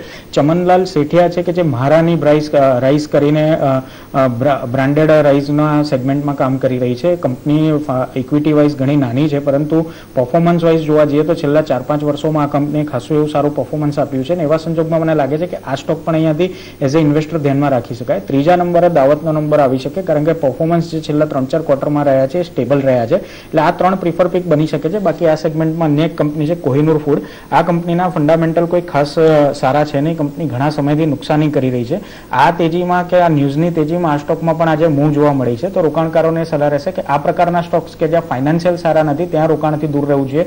જે પણ ઉછાળો આવ્યો છે, જો તમારી જોડે સ્ટોક હોય તો એને એક્ઝિટ થવાનો પ્રયત્ન કરી લેવો જોઈએ. રાઈટ તો આ એક વ્યૂ અહીંયા બની રહ્યો છે. માર્કેટ જો દિવસના ઉચ્ચતમ સ્તર ઉપર અત્યારે આપણને પહોંચતું દેખાઈ રહ્યું છે. બ્રોડર માર્કેટ હવે જોઈએ કારણ કે જે શોની શરૂઆતમાં આપણે વાત કરી હતા કે આ ફ્રન્ટ ઉપરથી આપણને હજુ એક લાલ નિશાનનો કારોબાર છે. સ્ટીલ અહીંયા જો ટ્રેન્ડ એટલો બધો ચેન્જ થતો દેખાય, પણ પાંચ ટકા સુધીની જે આપણે ડાઉનફોલ જોઈ રહ્યા હતા, એ આપણને ચોક્કસ રિકવર થતી દેખાઈ રહી છે. અને એમાં જો કાઉન્ટર સ્પેસિફિક કયા સ્ટોક તરફથી ટ્રેન્ડ બનતો દેખાયો છે. પેટ્રોનેટ એલએનજીનું કાઉન્ટર છે. આઈઆરબી ઇન્ફ્રા છે. અપોલો હોસ્પિટલ અને અપોલો હોસ્પિટલ ખાસ તમે જુઓ કે પરિણામ આવ્યા ત્યારથી કન્ટિન્યુઅસ જે એક મોમેન્ટમ ઉપરની સાઈડનું બનાવ્યું છે, એ યથાવત રાખ્યું છે. પેઇન્ટ ઇન્ડસ્ટ્રીઝના કેટલાક કાઉન્ટર છે. સ્પેસિફિક વાત કરું કન્સાઈ નેરોલેટનો સ્ટોક છે. ઇન્ડિયા બુલ હાઉસિંગ ફાઇનાન્સનું કાઉન્ટર જુઓ, ત્યાં હજુ પણ આપણને એક ડાઉન સાઇડ છે. સવારની તેજી હતી, ત્યાંથી વીક ટેરેટરીમાં છે. ઇન્ટરગ્લોબ એવિએશન જોવો અને સ્પાઇસ જેટ જોવો ત્યાં આપણને એક સારી તેજી છે અને સ્પેસિફિકલી હવે બીજા સ્ટોકની આગળ વાત કરું પહેલાં જો ઇન્ટરગ્લોબ એવિએશન ઉપર જ પહેલાં વાત કરીએ. ટ્રેન્ડ જુઓ આ સ્ટોકનો તમે ઓલમોસ્ટ સાડા છસો પાસે પહોંચ્યો અને ત્યાંથી આપણે જોઈએ તો વિધિન નો ટાઈમ અત્યારે ફરી પાછો એક હજાર પચાસ પાસે આવતો દેખાઈ રહ્યો છે. ઓલમોસ્ટ પર્સન્ટેજ વાઇઝ જોવા જાવ તો ચાલીસ ટકા સુધીનું રિટર્ન મળ્યું છે. શું એન્ટિસિપેટ બનતું દેખાઈ રહ્યું છે? ફંડામેન્ટલ આ એક મોટું ચેન્જીસ છે, ચોક્કસ ક્રૂડ પ્રાઇઝિસનું પણ. એ સિવાય ટેકનિકલી કોઈ આઉટલુક બની રહ્યો છે? આ સ્તર પાસેથી નવી એન્ટ્રી શોર્ટ શું કરવું જોઈએ? છે આઈ થિંક ઓવરઓલ અગર હું એરલાઇન સ્ટોકની વાત કરું અને જ્યાં ઇન્ડિગોની વાત કરું ડેફિનેટલી એરલાઇન સ્ટોકમાં આપણે કાફી સારી સેલિંગ પ્રેશર જોયેલો અને ત્યાંથી એક સારી શોર્ટ કવરિંગ જોયું છે. આઈ થિંક બધું રિલેટેડ ક્રૂડ પ્રાઇસના વજહથી જ છે. અગર ચાર્ટ્સની વાત કરું તો આઈ થિંક વોલેટાલિટી બહુ હાઈ છે. ઇવન ચાર્ટ્સ પર પણ એ વોલેટાલિટી દેખાય છે. સો આઈ થિંક નિયર ટર્મમાં સ્ટોકે ઘણો બાઉન્સ આપી દીધો છે. આઈ થિંક પ્રોબ્લી સ્ટોકે કન્સોલિડેશન ફેઝમાં આગળ જતા વયો જશે. તો હું કંઈ વધારે અપસાઇડ નથી જોતો. ઇનફેક્ટ સ્ટોક એક્ઝેક્ટલી રેઝિસ્ટન્સની આસપાસ હવે ટ્રેડ કરે છે. One zero nine one one double zero એક રેઝિસ્ટન્સ હતો. જ્યારથી આ સ્ટોકમાં ફોલ આવેલો, જ્યારે crude price eighty eighty two barrels જ્યારે ટચ થઈ ગયા હતા તો આઈ થિંક ઓવરઓલ આપણે જોઈ શકીએ છીએ કે સ્ટોક કન્સોલિડેશન કરી શકે છે, આગળ જતા પ્રોબ્લી એક સાઇડવેઝ થઈ જશે સ્ટોક આગળ જતા હું નથી વધારે અપસાઇડ જોતો ઇન્ડિગોમાં કરંટ લેવલ્સથી આઈ થિંક પ્રોબ્લી થોડુંક પ્રોફિટ બુકિંગ આવી શકે, જે હિસાબથી શાર્પ રેલી આવી હતી રિસન્ટ ટાઈમ્સમાં તો આઈ થિંક નીચેમાં તમે વન થાઉઝન્ડ વન હંડ્રેડથી લઈને નાઇન ફિફ્ટીના લેવલ આ સ્ટોકમાં જોઈ શકો છો, આગળ જતા. So I think probably consolidation છે કરંટ લેવલ્સ પર લોંગ કરવાની સલાહ નહીં આપીશ. યસ તમને અગર ઇનફેક્ટ શોર્ટ કરવું હોય તો તમે શોર્ટ કરી શકો છો. કારણ કે કંઈક ને કંઈક સ્ટોકને સારું રેઝિસ્ટન્સ છે અને જ્યાં સુધી આ સ્ટેફ રેઝિસ્ટન્સ ક્રોસ નહીં થાય આઈ થિંક સ્ટોક વાપસ એક પ્રોફિટ બુકિંગ જોશે નીચેના લેવલ્સ પર. તો આઈ થિંક કરંટ લેવલ્સ પર લોંગ ડેફિનેટલી ના કરવું જોઈએ. અગર કોઈને શોર્ટ કરવું હોય, તો કરંટ લેવલ્સ પર ડેફિનેટલી કરી શકે છે. અગિયારસોનો એક સ્ટોપ લોસ રાખી શકે છે. નીચેમાં ટાર્ગેટ્સ રાખી શકે છે હજારથી નવસો પચાસના. ઓકે તો એવિએશન સ્ટોક પર આ ટાર્ગેટ અચીવ થતા તમને જોવા મળશે, તો તેના પર ધ્યાન રાખવું. ત્યારે જ જે રીતે એવિએશન સ્ટોક્સ માટે ક્રૂડ પોઝિટિવ છે, તેમાં પેઇન્ટ કંપનીઝ માટે પણ છે. તો તમે એશિયન પેન્ટ્સ જુઓ બર્જર પેન્ટ જુઓ કન્સાઇનર અલગ જુઓ, જે આજે પોઝિટિવ ટ્રેડ હતો. કન્સાઈ નેરોલેક પર ઉપરથી એક અડધા ટકાની મુવમેન્ટ આવી છે, એટલે કે ઘટાડો આવ્યો છે. કુણાલ ખાસ કરીને પેન્ટ સ્ટોકમાં કન્સાઈ નેરોલેક આપને કેવો લાગે છે? કારણ કે મંથલી ચાર્ટ પર ઓલમોસ્ટ વીસેક ટકાના રિટર્ન છે. સી ઓવરઓલ અગર પેન્ટ સ્ટોકની વાત કરું તો આઈ થિંક કરંટ લેવલ્સ પર પણ કન્સાઇન આરો લેકમાં મને કંઈક મોમેન્ટમ નથી દેખાતું. કરંટ લેવલ્સ પર પણ ઓવરઓલ મને સ્ટાર્ટ ચાર્ટ સ્ટ્રક્ચરે એટલા સારા નથી દેખાતા જેટલા હું બાકી પેન્ટ સ્ટોક્સને હજી વેટેજ આપીશ. આઈ થિંક કરંટ પાકમાંથી એશિયન પેઇન્ટ્સ હજી મને ઘણો સારો લાગે છે. આઈ થિંક આજે જ સ્ટોકમાં ફ્રેશ બ્રેકઆઉટ પણ આવ્યો છે. આપણે કોઈક અપસાઇડ પણ જોઈ શકે છે સ્ટોકમાં આગળ જતા. ચૌદસોથી ચૌદસો પચાસના લેવલ્સ આગળ જતા ડેફિનેટલી જોઈ શકે છે in fact one of the BTST calls પણ મારો એશિયન પેઇન્ટ્સ જ રહેશે. તો આઈ થિંક કરંટ લેવલ્સ પર પણ કોઈ એશિયન પેઇન્ટ્સ બાય કરી શકે છે. આઈ થિંક મોમેન્ટમ બહુ સારી છે. બ્રેકઆઉટ વોલ્યુમ સાથે આવ્યો છે. ક્વિક મોમેન્ટમ અપસાઇડ પર તમને દેખાઈ શકે છે સ્ટોકમાં નિયર ટર્મમાં તો ડેફિનેટલી એશિયન પેઇન્ટ્સ મારો ટોપ પિક હશે ફ્રોમ ધ પેઇન્ટ સેક્ટર તો કરંટ લેવલ્સ પર ડેફિનેટલી કોઈ લોંગ કરી શકે છે. વન થ્રી ફોર ઝીરો એક સ્ટોપ લોસ છે. અપસાઇડમાં target thirteen eighty two fourteen હંડ્રેડના રાખી શકે છે. ઓકે કન્ઝ્યુમર ડિસ્ક્રિશનરી કે કન્ઝ્યુમર ડ્યુરેબલ સેગમેન્ટનું આ એક કાઉન્ટર જો વોલ્ટાસ પ્રદિત રિઝલ્ટ જોઈએ તો એટલા બધા એન્કરેજિંગ નહોતા, પણ સ્ટોક પ્રાઇસ જોવો તો પાંચસોની નીચે આપણને લાંબો સમય સસ્ટેન થતી નથી જોવા મળી. સ્ટોક ત્યાંથી ફરી પાછો એક શાર્પ રિકવરી તરફ જ ટ્રેન્ડમાં દેખાઈ રહ્યો છે. સાથે જ અહીંયા તમે બીજા ફેક્ટર્સ જુઓ તો કમ્પેરેટિવલી જે માર્કેટ શેર કંપની ધરાવે છે વોલ્ટાસ એટલો માર્કેટ શેર ધરાવતી અત્યારે લિસ્ટેડ એન્ટાઇટીમાં આપણી પાસે એવી કંપની નથી કે જેનો માર્કેટ શેર વોલ્ટાસ કરતાં વધારે હોઈ શકે સ્પેસિફિકલી કન્ઝ્યુમર ગુડ્સના સેગમેન્ટની અંદર. જે મેક્રોઝની વાત કરી, જો એડિશનલ સ્પેન્ડિંગ માટેના રૂપિયા બચે છે, તો વોલ્ટાસ જેવી કંપનીને ફાયદો ખરો? વિક્રમ ને વોલ્ટાસને તમે માત્ર કન્ઝ્યુમર ડ્યુરેબલ તરીકે નહીં, પરંતુ એનો ઇપીસી સેગમેન્ટ છે, એ પણ સારું એવું પરફોર્મ કરી રહ્યું છે. પાછલા સમયમાં આપણે જોયું ઇકોનોમી સ્લોડાઉનનો સમય હતો, ત્યારે આ કંપનીઓના જે ઓર્ડર્સ હતા, એમાં માર્જિનમાં ખાસો દબાણ જોવા મળતું હતું, ને લો માર્જિન પર આ કંપનીઓ નવા ઓર્ડર લેતી હતી. પરંતુ જે છેલ્લા એક દોઢ વર્ષથી આ કંપનીના ઇપીસી સેગમેન્ટમાં પણ જે રીતના નવા ઓર્ડર્સ જનરેટ થયા છે અને જે માર્જિન્સ પર થયા છે, મને લાગે છે કે આ એક પોઝિટિવ ફેક્ટર છે. બીજું કે વોલ્ટાસે કન્ઝ્યુમર ડ્યુરેબલ સેગમેન્ટમાં પણ તમે જોવા જાઓ અ, અ, આ કન્ઝ્યુમર સેગમેન્ટમાં પણ આપણે જોવા જઈએ તો માત્ર એસી બનાવતી કંપની રહી નથી. ગયા વર્ષે કંપની એર કુલર સેગમેન્ટમાં એન્ટર થઈ હતી ને બ્રાન્ડેડ એર કુલર સેગમેન્ટમાં આપણને ખબર છે કે સિમ્ફની એક માત્ર કંપની હતી કે જેની સાથે આ કંપનીએ કોમ્પિટિશન કરી અને આપણે જોયું કે છેલ્લા એક વર્ષમાં સિમ્ફનીનો માર્કેટ શેરમાં ઘટાડો જોવા મળ્યો છે. એનો ફાયદો વોલ્ટાસને પણ મળ્યો છે. હાલમાં આ કંપની રેફ્રિજરેટર સેગમેન્ટમાં ઉતરી છે અને આપણે જોઈ રહ્યા છે કે ત્યાં પણ એગ્રેસિવ માર્કેટિંગ કરી રહી છે. તો જે રીતે નવા નવા વર્ટિકલમાં કંપની એન્ટર થઈ રહી છે ને સાથે જે ઇપીસી બિઝનેસ છે, ત્યાંથી જે રીતે નવા ઓર્ડર્સ જનરેટ થઈ રહ્યા છે ને જે રીતે માર્જિન્સ ઇમ્પ્રૂવ થઈ રહ્યા છે ડેફિનેટલી આ સ્ટોક મને લાગે છે કે હાલના લેવલે પણ તમે ધ્યાનમાં રાખી શકો ને અહીંયાથી એક દોઢ વર્ષનું હોરાઇઝન હોય તો આ સ્ટોકમાં જે હાઈસ બન્યા હતા, છસો સાહીઠ, છસો સિત્તેરના, એ લેવલ ઇઝીલી ક્રોસ થતા જોવા મળી શકે છે. તો ચોક્કસથી બાયોન ડિપ્સનો સ્ટોક આ બાયોન ડિપ્સ કેન્ડિડેટ સ્ટોક બની શકે છે. ઓકે ત્યારે જ કોક્સન કિંગ્સ અને થોમસ કુક કુણાલ, તમે જો ચાર્ટ જુઓ કોક્સન કિંગ્સ એ બે ટકાના રિટર્ન પર અત્યારે દેખાઈ રહ્યો છે. ઓલરેડી તમે જોયું હશે તો ત્રણ, સાડા ત્રણ ટકાના રિટર્ન એક દિવસમાં આપ્યા છે કોક્સન કિંગ્સે અને હાલે તમે થોમસ કુકને જોશો, તો ત્યાં પણ તેજી બનતી દેખાઈ રહી છે. આ બંને કહી શકાય કે તમે ફરવા જાઓ તો ટિકિટ બુક્સ કરી આપે, તમને હોટલ બુક્સ કરી આપે છે. તો ટૂર એન્ડ ટ્રાવેલ પોર્ટલ્સ છે કંપની છે થોમસ કુક અને કોક્સન કિંગ્સ કુણાલ, શું વ્યૂ બને? બંને પર? સી અગર હું ઓવરઓલ બંને કંપનીઝને જોઉં તો મને કરંટ લેવલ્સ પર પણ ચાર્ટ વાઇઝ થોમસ કોક હજી ઇન્ટરેસ્ટિંગ લાગે છે. આઈ થિંક ઇવન સ્ટોકે જે હિસાબથી કોક્સ એન્ડ કિંગ્સે કરેક્શન જોયેલો થોમસ કુકમાં હજી પણ એટલો કરેક્શન ડીપ નથી આવ્યો. તો આઈ થિંક ઓવરઓલ ટ્રેન્ડ હજી ડેફિનેટલી પોઝિટિવ છે. Thomas કુકમાં one seventy five one eighty આ એક સ્ટ્રોંગ સપોર્ટ ઝોન છે સ્ટોકને આઈ થિંક ઓવરઓલ સ્ટોક કાંઈક ને કંઈક એક રેઝિસ્ટન્સના તરફ ડેફિનેટલી ટ્રેડ કરે છે. પણ આઈ થિંક એકવાર ટુ થર્ટી ક્રોસ કરી દેશે સ્ટોક ડિસાઇસિવલી ક્લોઝિંગ બેસિસ પર. તો આઈ થિંક ફર્ધર મોમેન્ટમ આવશે જે એકદમ જ શાર્પ હશે. અપસાઇડમાં તમને ટુ સેવન્ટી ટુ એટીના લેવલ જે દેખાઈ શકે છે. થોમસ કુકમાં આગળ આગળ જતા. તો I think yes definitely Thomas Cook current levels પર પણ બાય બને છે. આજે પણ ટ્રેન્ડ પોઝિટિવ છે. પ્રીવિયસ કેન્ડલના ઉપર ક્લોઝિંગ આપે છે. તો I think trend overall positive છે. સ્ટોકમાં આઈ થિંક ટુ થર્ટીનું જે રેઝિસ્ટન્સ છે એ ડિસાઇસિવલી બ્રેક કરી દેશે સ્ટોક અને ફર્ધર મોમેન્ટમ આવશે. તો આઈ થિંક એક અર્લી કેચ કરવું હોય તો કરંટ લેવલ્સ પર ડેફિનેટલી બાય તમે કરી શકો છો. એનો સપોર્ટ નીચેના લેવલ પર છે. Two hundred eighteen two hundred નાઇન્ટીનનો support zone છે. તો આઈ થિંક તમે એ સપોર્ટ ઝોનથી આ સ્ટોપલોસથી બાય કરી શકો છો. અપસાઇડમાં મને target sir two sixty to two સેવન્ટીના immediate basis પર દેખાય છે.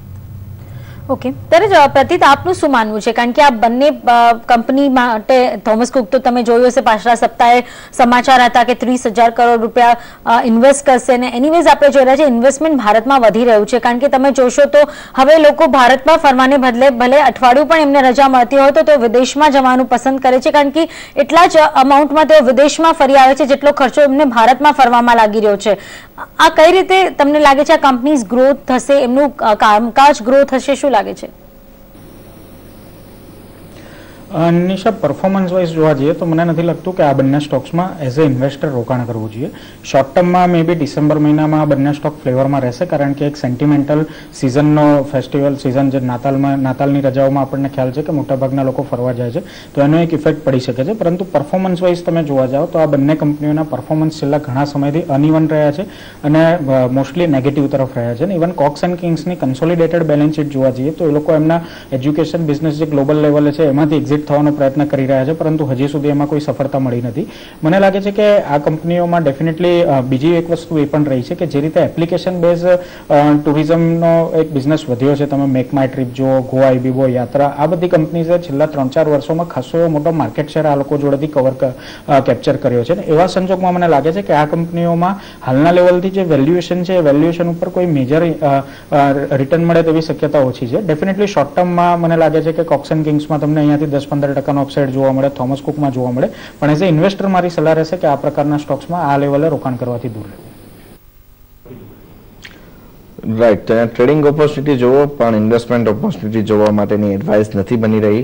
બે અઢી મિનિટનો સમય બાકી છે. આપણે આજના બીટીએસટી કે એસટીવીટી કોલ જાણવા માટેનો. પણ એ પહેલાં આપણે કુણાલ પાસેથી બીજા કેટલાક સ્ટોક એવા છે કે જેના ઉપર એમના વ્યૂઝ જાણીશું અને ત્યાં પોઝિશનલ ટ્રેડ માટેની પણ શું જગ્યા બને છે એની વાત કરીએ.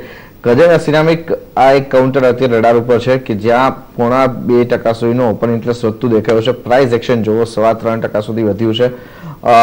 કેશ માર્કેટના ફ્રન્ટ ઉપરથી જોવો તો ગજારા સિરામિક કુનાલ ત્યાંથી પણ એક સારી સ્ટ્રેન્થમાં દેખાઈ રહ્યું છે. ફેક્ટર જો ક્રૂડનો અહીંયા એક પોઝિટિવ તો બનતો દેખાય જ છે. સાથે રિયલ એસ્ટેટ સેક્ટરની અંદર પણ રિસેન્ટલી હમણાં જે રિપોર્ટ્સ જોઈ રહ્યા છે, એમાં થોડી એક સ્ટેગ્નન્સી પૂરી થતી હોય અને બજારમાં ડિમાન્ડ આઉટલુક સુધરતો હોય એવા સીન બનતા દેખાઈ રહ્યા છે. તો ઓલમોસ્ટ ફંડામેન્ટલ ફેક્ટર તો પોઝિટિવ છે. ચાર્ટ ફેક્ટર કેવા જોવો છો? સી ઓવરઓલ ડેફિનેટલી સ્ટોકે એક સારું ફોલ જોયેલું રિસન્ટ ટાઈમ્સમાં અને જ્યાં જે હિસાબથી સપોર્ટથી બાઉન્સ આપેલો સ્ટોકે આઈ થિંક બહુ શાર્પ બાઉન્સ હતો. થ્રી હંડ્રેડનો સપોર્ટ ઝોન હતો, ત્યાંથી સ્ટોકે ડેફિનેટલી એક સ્ટ્રોંગ રિવર્સલ આપ્યું છે.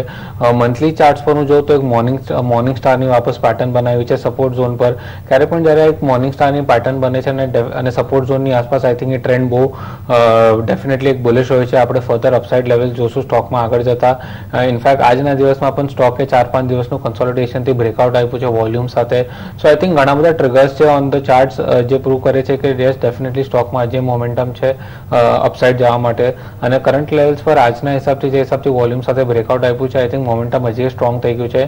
તો ડેફિનેટલી એના માટે મારો એક બીટીએસટી કોલ હશે. કરંટ લેવલ્સ પર કોઈ બાય કરી શકે છે ફોર સિક્સટીનો સ્ટોપ લોસ રાખી શકે છે. Upside target four seventy six to four એટીના રાખી શકે છે. આના પર એક વ્યૂ બનતો દેખાઈ રહ્યો છે. તો એક કજારિયા સિરામિક તમારો વ્યૂ બનતો દેખાયો છે બીટીએસટી માટે, જેના પર તમારો વ્યૂ હોવો જોઈએ.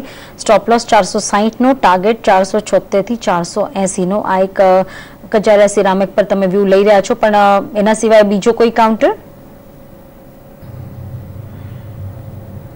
સી સેક્ટર મેં આપણે ઓલરેડી કાઉન્ટર ડિસ્કસ કર્યું હતું Asian Paints I think current levels પર પણ પેન્ટ સેક્ટર ડેફિનેટલી મને સારું લાગે છે. એશિયન પેઇન્ટ્સ મારો ટોપ પિક હશે. એમાંથી પણ સ્ટોકે ફ્રેશ બ્રેકઆઉટ આપ્યો છે. કરંટ લેવલ્સથી ચાર્ટ્સ હજી ઇન્ટેક્ટ છે. જે લોંગ ટર્મ ચાર્ટ્સ છે, હજી કાફી બુલિશ છે. આપણે હાયર લેવલ્સ ડેફિનેટલી જોશું આગળ જતા પણ. બટ જે હિસાબથી આજે બ્રેકઆઉટ આપ્યો છે સ્ટોકે વોલ્યુમ સાથે ડેફિનેટલી બીટીએસટી બને છે. કોઈ કરંટ લેવલ્સ પર પણ બાય કરી શકે છે. વન થ્રી ફોર ઝીરોનો એક સ્ટોપ લોસ રાખી શકે છે. અપસાઇડના ટાર્ગેટ્સ હશે થર્ટી 1380 ટુ 1400 ના. ઓકે તો કજારિયા સિરામિક્સ તો ખરીદારી કરી શકો. એશિયન પેઇન્ટ પર પણ ખરીદારીની સલાહ છે અને બીટીએસટી છે. બંને કાઉન્ટર સ્ટોપલોસ તેરસો ચાલીસ ટાર્ગેટ તેરસો એંસીથી ચૌદસોના એશિયન પેઇન્ટ્સ પર. તો બંને પેઇન્ટ કાઉન્ટર્સ ગમે છે અહીંયા કુણાલને અને ખરીદારીની સલાહ અત્યારે આપી રહ્યા છે. આવતીકાલે તમને આ ટાર્ગેટ અચીવ થતા જોવા મળી શકે. ઝડપથી લે વિરામ. વિરામ બાદ ક્લોઝિંગ પર રાખીશું નજર. Prosperity means not just today Prosperity means future as well. So prosperity when it comes to the world of finance is growing, protecting and transmitting your money to the next generation. If you're able to do all these three legs efficiently, that's prosperity. NSE and CNBC Bajar present Prosperity Day.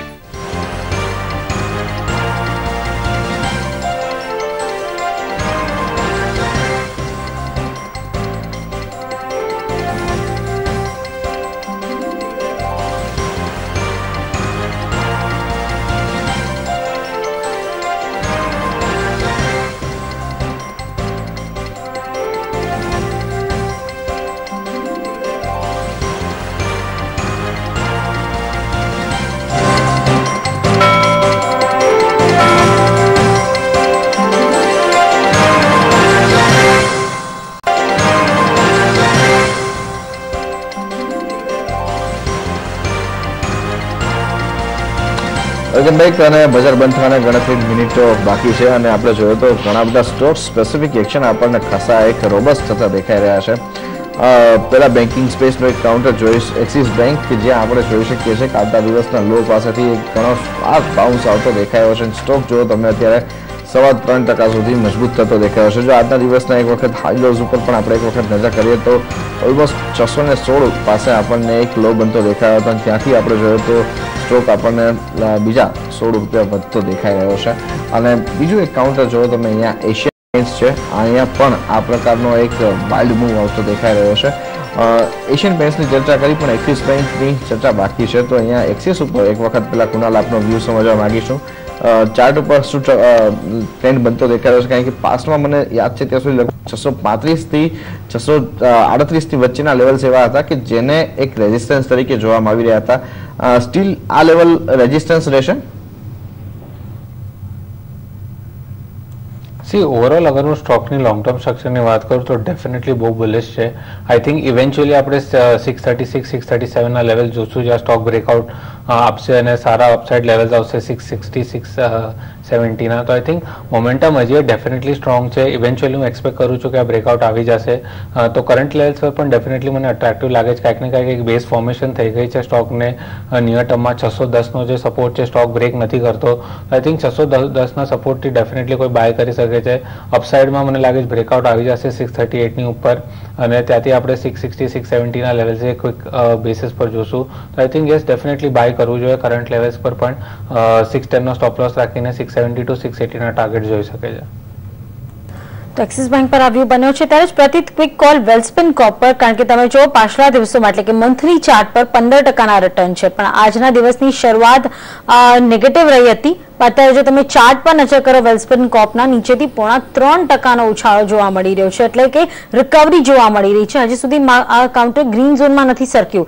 પણ શું ખાસ લાગી રહ્યું છે આ કંપનીમાં ફંડામેન્ટલ્સમાં કોઈ બદલાવ, કોઈ ન્યૂઝ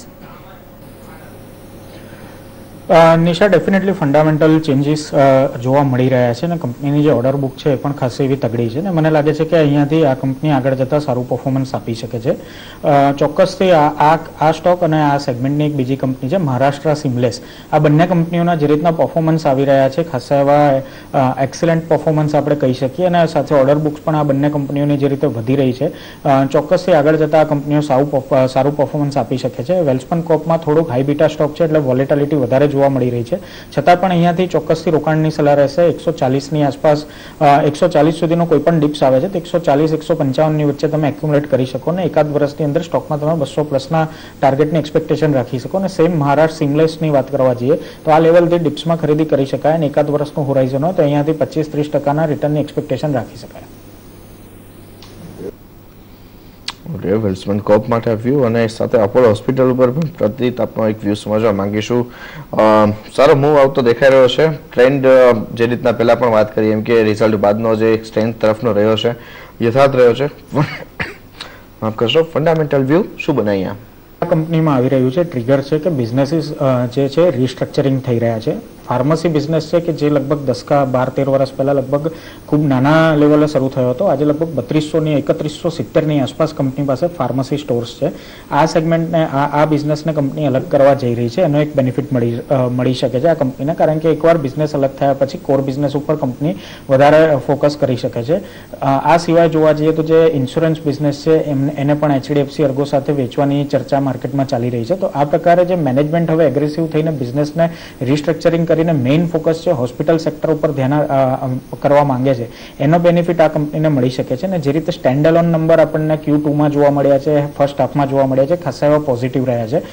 કંપની લગભગ દસ હજારથી વધારે પથારીઓ સિત્તેર હોસ્પિટલમાં ધરાવે છે મેનેજ કરે છે અને જે રીતનું પરફોર્મન્સ આગળ જતા આ સેક્ટરનું લાગી રહ્યું છે, જે રીતનું ફ્યુચર આ સેક્ટરનું લાગી રહ્યું છે ડેફિનેટલી આ સ્ટોકમાં બાયોન ડિપ્સ કેન્ડિડેટ બની શકે છે અને જે આ રિસ્ટ્રક્ચરિંગનો સિનારીઓ છે એ પૂરો થાય છે, ત્યાં સુધીમાં મને લાગે છે કે સ્ટોક તમને ઉપરમાં પંદરસો રૂપિયા સુધીના લેવલ્સ પણ બતાવી શકે છે. તો પેલો હોસ્પિટલ પર આવ્યું બન્યો છે. હિન્દાલકોમાં જબરદસ્ત રિકવરી છે. જો કુણાલ, તમે હિન્દાલકોના ચાર્ટ જોઈ શકો અને અત્યારે કોઈ ખાસ કારણ તમને લાગે છે? બેઝ બની ગયો છે હિન્દાલ્કોમાં સે આઈ થિંક રિસન્ટ ટર્મ્સમાં પણ હિન્ડાલ્કોની વાત કરું તો બસો દસ, બસો બારના લેવલ છે, જ્યાંથી સ્ટોકે રિસન્ટ બાઉન્સ આપેલો. આઈ થિંક એ બાઉન્સ સસ્ટેન કરે છે. જ્યાં સુધી આ લેવલ સસ્ટેન થાય છે ડેફિનેટલી કોઈ લોંગ કરી શકે છે. I think risk reward favourable હજી લોંગ સાઇડ પર જ છે. બસો ઓગણીસ, બસો વીસની આસપાસ ચાલે છે. તો બસો બારના સ્ટોપલોસથી કોઈ બાય કરી શકે છે કરંટ લેવલ્સ પર પણ. ઇમિડિયેટ બેસિસ પર તમે two twenty seven two two twenty એટના target જોઈ શકો છો. સ્ટોકને અપસાઇડમાં રેઝિસ્ટન્સ પણ છે ટુ થર્ટી ફાઈવની આસપાસ. I think more or less range bound રહેશે બટ એમાં રેન્જ બાઉન્ડમાં અગર હું ઇન્ટરનલી અગર કરું તો બાયસ હજી બુલિશ સાઇડ પર જ હશે અ, તમે અપસાઇડ જોઈ શકો છો two twenty eight two twenty nine level સુધીના તો આઈ થિંક બાયોન ડિપ્સનો અપ્રોચ રાખો ટુ ટ્વેલ્વના એક સ્ટોપ લોસથી બાય કરી શકો છો ઓકે ઇન્ડાલ્કો માટે આ વ્યૂ બની રહ્યો છે. કેશ માર્કેટના કેટલાક કાઉન્ટર્સ ઉપર જો નજર કરીએ જ્યાં આપણને આજના દિવસમાં એક સારો મૂવ આવતો દેખાઈ રહ્યો છે. વીઆઈપીમાંનું એક કાઉન્ટર છે. લગભગ સવા છ ટકા સુધીની સ્ટ્રેન્થ વોલ્યુમ જો દસ દિવસના એવરેજની સરખામણીએ બે ગણું. ટેકનિકલી પણ બ્રેકઆઉટ મોમેન્ટમ હંડ્રેડ ડીએમએની ઉપર. એક લાર્જેસ્ટ માર્કેટ શેરવાળી આ કંપની છે, પ્રતિત વીઆઈપી ખરીદી કરાય અત્યારે. વિક્રમ શોર્ટ ટર્મમાં એક હજુ પણ સ્પાઇક તમે એક્સપેક્ટ કરી શકો છો. મે બી પાંચસો પચાસ સુધીના લેવલ આવનાર ત્રણથી ચાર મહિનામાં એક્સપેક્ટ કરી શકાય. પરંતુ જે રીતનો રનઅપ આપણે છેલ્લા એક વર્ષની અંદર જોયો છે જોતા એવું લાગે છે કે આ સ્ટોક ઉપરમાં પાંચસો પચાસ, નીચામાં ચારસો રૂપિયા રેન્જની વચ્ચે કન્સોલિડેટ થઈ શકે છે. વેલ્યુએશનની દ્રષ્ટિએ આ સ્ટોક હાલના લેવલે જોવા જઈએ, તો એક ફેર વેલ્યુથી થોડોક ઉપર ચાલી રહ્યો છે. પરંતુ આની કમ્પેરિઝનમાં એક પિયર્સ કંપની છે. આજ આ જ કંપનીની એક પિયર્સ કંપની છે કે જેણે છેલ્લા બે ત્રણ વર્ષોમાં ખાસો માર્કેટ શેર છે, એ વીઆઈપી જોડેથી પોતાની તરફ કેપ્ચર કર્યો છે. સફારી ઇન્ડસ્ટ્રીઝ મને લાગે છે કે આ એક સ્ટોક છે કે જે રીતના પરફોર્મન્સ છેલ્લા ત્રણ વર્ષથી આ કંપની આપ્યા છે ને જે એચ વનના પણ તમે પરફોર્મન્સ જુઓ તો કન્સિસ્ટન્ટ પરફોર્મન્સ જોવા મળ્યા છે. વોલ્યુમ ગ્રોથ હોય કે માર્જિન વાઇઝ ગ્રોથ હોય કે નફાની રીતે જોવા જઈએ. એક તબક્કે આ સ્ટોકનો પી રેશિયો લગભગ એંસીની આસપાસ જતો રહ્યો હતો. આજે પચાસની આસપાસ આવી ગયો છે અને જે રીતનો ગ્રોથ ગ્રોથ રેટ આ કંપની બતાવી રહી છે. ડેફિનેટલી સફારી ઇન્ડસ્ટ્રીઝને વીઆઈપીની કમ્પેરિઝનમાં ધ્યાનમાં રાખી શકાય. સ્ટોક સાતસો ચાલીસની આસપાસ ટ્રેડ કરી રહ્યો છે અને મને લાગે છે કે જો અહીંયાથી દોઢ બે વર્ષનું હોરાઇઝન હોય તો ડેફિનેટલી આ સ્ટોકમાં તમે ચાલીસથી પચાસ ટકાના રિટર્નની એક્સપેક્ટેશન પણ રાખી શકો છો. ત્યારે કુણાલ, જો તમે જુઓ, પેટ્રોનેટ એલએનજી નું કાઉન્ટર પોણા ચાર ટકાની તેજી અત્યારે derivative side long position hold થઈ રહી છે અને તમે જો ઓપન ઇન્ટરેસ્ટ પણ સારા એવા બિલ્ટઅપ થતા દેખાઈ રહ્યા છે. આગળ સસ્ટેન થશે? ડેફિનેટલી અગર આજની ટ્રેન્ડની વાત કરું તો સ્ટોકે ચાર પાંચ દિવસના હાઈસ જે ક્રોસ નથી કરતો જે રેઝિસ્ટન્સ હતો સ્ટોકને ટુ એટીન ટુ નાઇન્ટીનના લેવલ્સની આસપાસ આઈ થિંક આજે આજે સ્ટોકે ડિસાઇસિવલી ઉપર બ્રેકઆઉટ આપી દીધું છે વોલ્યુમ સાથે. તો આઈ થિંક આગળ જતા યસ આપણે ડેફિનેટલી ફર્ધર અપસાઇડ જોઈ શકશું. Even on the longer term chart જ્યાં હું વાત કરું, બસો પાંચ, બસો છનો સ્ટ્રોંગ સપોર્ટ ઝોન છે. સ્ટોકે ત્યાંથી મલ્ટિપલ ટાઈમ્સ બાઉન્સ આપ્યો છે. વાપસ આ સ્ટોકે એ જ લેવલ્સથી બાઉન્સ આપ્યો છે. તો I think again risk reward favourable છે on the long side current levels પર પણ તમે લોંગ કરી શકો છો. અપસાઇડમાં ઇમિડિયેટ બેસિસ પર two twenty six two two twenty સેવનના targets રાખી શકો છો. ત્યાં સ્ટોકને એક રેઝિસ્ટન્સ છે. અને એકવાર two twenty seven two twenty એટની ઉપર ક્લોઝ આપી દે છે સ્ટોક ક્લોઝિંગ બેસિસ પર, તો આપણે એક શાર્પ રેલી જોશું. Two forty seven two two ફિફ્ટીની લેવલ્સની આસપાસ. તો ઓવરઓલ મોમેન્ટમ હજી બાય સાઇડ પર જ છે. કરંટ લેવલ્સ પર ડેફિનેટલી બાય કરી શકો છો. ઓકે તો પેટ્રોલ એલજી માટે આ વ્યૂ અઢી ત્રણ મિનિટનો સમય બાકી છે. આજે ક્રૂડ પ્રાઇસીસની સાથે એક ચેન્નાઈ પેટ્રોલના અકાઉન્ટ ઉપર પણ કુનાલ આપનો વ્યૂ સમજવા માગીશું વોલ્યુમ પણ ઘણું એગ્રેસિવ છે. સ્ટોક પ્રાઇસ જો સવા ત્રણ ટકા વધી છે. શું આઉટલુક રાખી શકાય અહીંયા? સી ઓવરઓલ જ્યાં સુધી ચેન્નાઈ પેટ્રોલની વાત કરું આઈ થિંક સ્ટોકે ડેફિનેટલી આજે એક મોમેન્ટમ જોયો છે, પણ આઈ થિંક સ્ટોકે નિયર ટર્મમાં ટુ સેવન્ટી વનના લેવલ્સની ઉપર ક્લોઝિંગ આપવું પડશે. એના પછી જ એક સારી મોમેન્ટમ આવશે. કરંટ લેવલ્સ પર હું કહીશ અવોઇડ કરે. અગર કોઈ લોંગ ટર્મ ઇન્વેસ્ટરની હિસાબથી ઇન્વેસ્ટ કરવું હોય તો ડેફિનેટલી બાય છે. કરંટ લેવલ્સ પર પણ કોઈ એક્યુમ્યુલેટ કરી શકે. પણ અગર કોઈ નિયર ટર્મ ટ્રેડ માટે લેતું હોય તો ડેફિનેટલી ટુ સેવન્ટી વનની ઉપર એકવાર ક્લોઝ આપે. પછી તમે ટ્રેડ કરવું જોઈએ. અપસાઇડમાં તમને ઇમિડિયેટ બેસિસ પર two seventy nine two two એટીના target દેખાઈ શકે છે. તમે અગર લોંગ ટર્મ ઇન્વેસ્ટર છો તો ડેફિનેટલી કરંટ લેવલ્સ પર પણ બાય કરો. બટ અગર નિયર ટર્મ ટ્રેડ કરવું છે, તો ટુ સેવન્ટી વનની ઉપર જ બાય કરવું જોઈએ. ટુ સેવન્ટી વન પર એક બાય કરવાની સલાહ અહીંયા મળતી દેખાઈ રહી છે. તમે જો ફ્રેશ બાઇંગ જે ઇમર્જ થઈ રહી છે એક્ઝાવે GTPL Hathway ITDC Allahabad bank DLF અને વીઆઈપી જેવી કંપનીઝ છે જ્યાં ફ્રેશ બાઇંગ આવતી જોવા મળી છે. એટલે તમને બ્રોડર માર્કેટ પણ તમે જો પોઝિટિવ બનતો દેખાયો છે. સાથે જ આઈટીડી સિમેન્ટેશન જેટ એવે સવારથી ઘટાડે ચાલી રહ્યા હતા. ત્યાં બાઇંગ આવી છે. વેલ્સપન કોપ તમે જો સુઝલોન જુઓ, તો ત્યાં પણ ખરીદારીનો દોર ચાલુ છે. પણ વીકનેસ છે. હજુ ઘણા કાઉન્ટર્સમાં જેમાં ધાનુક, ધામપુર શુગર કેશોરામ આઈટીએનએલ તમે જોઈ શકો ડીએચએફએલ જેમાં ધીરી ખરીદારી નીચેથી આવી છે, પણ એટલી ફોર્સ નથી. તો તમે શોભા ડેવલપર્સ જો ડોલ્ફિન ફોર્સ ઓફશોર જો Shriram Transport even Shriram Transport પર આજે બ્રોકરેજ હાઉસના વ્યૂ હતા, પણ એવો સપોર્ટ નથી મળી રહ્યો. સાથે તમે નિફ્ટીમાં જુઓ, યસ બેંક રિકવર થયું ત્રણ ટકા, સવા ત્રણ ટકા નીચેથી રિકવર થયું છે. Hero MotoCorp Bharti Infratel NTPC Coal India સાથે જ એક્સિસ બેંક અને હિન્દાલ્કો પણ જબરદસ્ત રિકવર થતા દેખાયા છે. નીચેથી ખરીદારી પાછી આવી છે અને ખાસ કરીને તમે જો સન ફાર્માની સાથે ઓરોબિંદો ફાર્મા જુઓ, ટેક મહિન્દ્રા જુઓ, ટાટા મોટર્સ જુઓ, તો અહીંયા પણ તેજી ઉમેરાતી જોવા મળી છે. નિષ્ઠા મથાળાનો ફાયદો રોકાણકારોએ લીધો છે. તો પોઝિટિવિટી બનેલી છે. આજના દિવસના ટોપ ગેનર્સ તમે જો હીરો મોટોકોપ અને બજાજ ઓટો તો રહ્યા છે, પણ ભારતી એરટેલ અને ભારતી ઇન્ફ્રાટેલ પર પણ નજર હોવી જોઈએ. પેઇન્ટ સ્ટોક કારણ કે ક્રૂડના ભાવો ઘટ્યા તો એની પોઝિટિવ ઇમ્પેક્ટ આવી. પેઇન્ટ સ્ટોકમાં એશિયન પેઇન્ટ્સ તમે જો અને આગળ આપણે બર્જર પેઇન્ટ કન્સાઇન નારોલેક પર જોયું. ત્યાં પણ પોઝિટિવિટી આવી છે. આજે ટ્રેડ સેટઅપ થોડો પોઝિટિવ ક્યાં થયો છે તો defensive HUL ITC Dabur FMCG દિગ્ગજમાં રોકાણ વધતું જોવા મળ્યું છે. અને એનીવેઝ તમે જો આઈટી કાઉન્ટર્સ છેલ્લા કલાકવારમાં ઘણા પોઝિટિવ થઈ ગયા. માર્કેટ બ્રેડ ફિફ્ટી ફિફ્ટી દસ છસો તેત્રીસ પર ફાઇનલ આપણને આવતું જોવા મળી રહ્યું છે. બેંક નિફ્ટી છવ્વીસ ત્રણસો એસી એક્યાસી ને પાસે તો સેન્સેક્સ ઓલમોસ્ટ ત્રણસો ને ત્રાણું પોઈન્ટ ઉપર, એટલે કે ચારસો પોઈન્ટની રેલી એક દિવસમાં ત્રણસો એક્યાસી પોઈન્ટની તેજી આપણને બેંક નિફ્ટીમાં જોવા મળી છે અને દોઢ ટકાની તેજી કહી શકાય. સારી એવી સસ્ટેન થઈ છે બેંક નિફ્ટીમાં. તો કુણાલ, આવતીકાલે આ તેજી સસ્ટેન થશે કારણ કે હવે આપણે જોઈ રહ્યા છે યુરોપિયન માર્કેટ કવર થઈ ગયા છે. ડાઉ ફ્યુચર્સ પણ પોઝિટિવ છે. તો એક બાઉન્સ તો વૈશ્વિક બજારોમાં પણ આવી શકે અને ત્યારે તો એને ક્રૂડના સથવારો મળી જાય તો કેટલું પોઝિટિવ હજુ આગળ સસ્ટેન થઈ શકે? સી આઈ થિંક બેંક નિફ્ટીએ જે હિસાબથી આજે ક્લોઝિંગ આપ્યું છે ડેફિનેટલી ક્લોઝિંગ બહુ સ્ટ્રોંગ હતું bank નિફ્ટીએ two twenty six thousand three fifteen ઉપર ક્લોઝ આપવું જોઈતું હતું જે બેંક નિફ્ટીએ ડેફિનેટલી ક્લોઝ કર્યું છે તો આઈ થિંક આપણો શાર્પ અપમૂવ જોઈ શકે છે બેંક નિફ્ટીમાં જેવી રીતે આપણે સ્ટાર્ટિંગ ઓફ ધ શોમાં વાત કરતા હતા twenty six thousand three fifty એકવાર નીકાળી દેશે બેંક નિફ્ટી તો twenty six thousand five hundred six હંડ્રેડના levels immediate basis પર જોઈ શકે છે તો ડેફિનેટલી બાય ઓન ડેપ્સનો અપ્રોચ બને છે બાય કરીને ડેફિનેટલી ચાલુ જોઈએ સિમિલર વ્યૂ નિફ્ટી પર છે નિફ્ટી પણ આજે સારું ક્લોઝિંગ આપી દીધું છે. અને નિયર ટર્મમાં જે રીતે આપણે વાત કરતા હતા ten thousand seven hundred ten thousand seven ફિફ્ટીના levels આવી શકે છે જ્યાં એક રેઝિસ્ટન્સ છે નિફ્ટીને. આઈ થિંક ઓવરઓલ હજી ઇન્ટરનલ સ્ટ્રક્ચર બંને ઇન્ડેક્સનું પોઝિટિવ જ છે. બાયો ઇન્ડેક્સનો જ અપ્રોચ રાખવાનો છે. યસ મેં જે તે વાત કરી સિન્સ એક્સપાયરી હશે તો આપણે કન્સોલિડેશન જોઈ શકીએ છીએ. નેક્સ્ટ બે ત્રણ દિવસમાં પણ હજી અંડર અંદરનું ઇન્ટરનલ સ્ટ્રક્ચર બોલી શકશે બાયો ઇન્ડેક્સનો અપ્રોચ રાખશે બંને નિફ્ટી બેંક નિફ્ટીમાં. ઇવેન્ચ્યુઅલી નિફ્ટીમાં આપણે ઇલેવન થાઉઝન્ડના લેવલ જોશું અને બેંક નિફ્ટીમાં છવ્વીસ હજાર સાતસોથી છવ્વીસ હજાર આઠસોના લેવલ જોશું. ઓકે, તો આ અત્યારે આપણને મળતો દેખાઈ રહ્યો છે અને જે રીતે કુણાલે પહેલાં પણ વાત કરી હતી ઇન્ડેક્સ લેવલ ઉપર એક પોઝિટિવિટી પ્લે આઉટ થતી દેખાઈ રહી છે અને આગળ પણ હજુ વધતી દેખાય એવી શક્યતા વધારે સ્ટ્રોંગ છે. તો એ તરફ જ અત્યારે જોઈએ તો ઇન્ડેક્સના મૂવમેન્ટ આપણને જોવા મળી રહ્યા છે.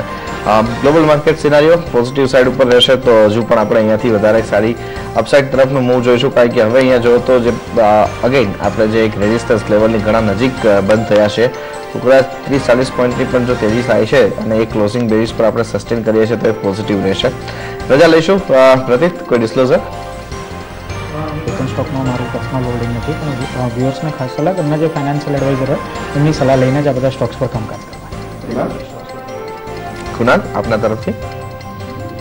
આપણે જેટલા પણ સ્ટોક આપણે જેટલા પણ સ્ટોક ડિસ્કસ કર્યા છે એમાં મારા પર્સનલ લેવલ પર કોઈ હોલ્ડિંગ નથી મેં મારા ક્લાયન્ટ્સને ડેફિનેટલી સજેસ્ટ કર્યા છે. ઓકે ઘણો આભાર કુણાલ અને પ્રતિત આપ બંનેનો અહીંયા ચર્ચામાં મારી સાથે જોડાવા માટે સમગ્ર વિગતો માટે અને સાથે જ લઈશું એક બ્રેક બ્રેક બાદ ડિફાઇનેડ સોલ્યુશનના પ્રશાંત શાહ સાથે કરીશું માર્કેટ પર ચર્ચા There are two or three things that are very important when you're talking about creating wealth and prosperity for yourself. Uh, one is the power of compounding. Uh, you know, over 15, 20 years, the kind of wealth creation, even a small amount at the beginning can can can make is amazing. Second is uh, stay greedy, but control your greed and control your fear. Uh, you know, the maximum amount of money is made when everybody else is selling in the stock markets and you are the person buying because when you take advantage of the market sphere, that's when you can really create immense wealth for yourself. NSE and CNBC Bajar present Prosperity Day.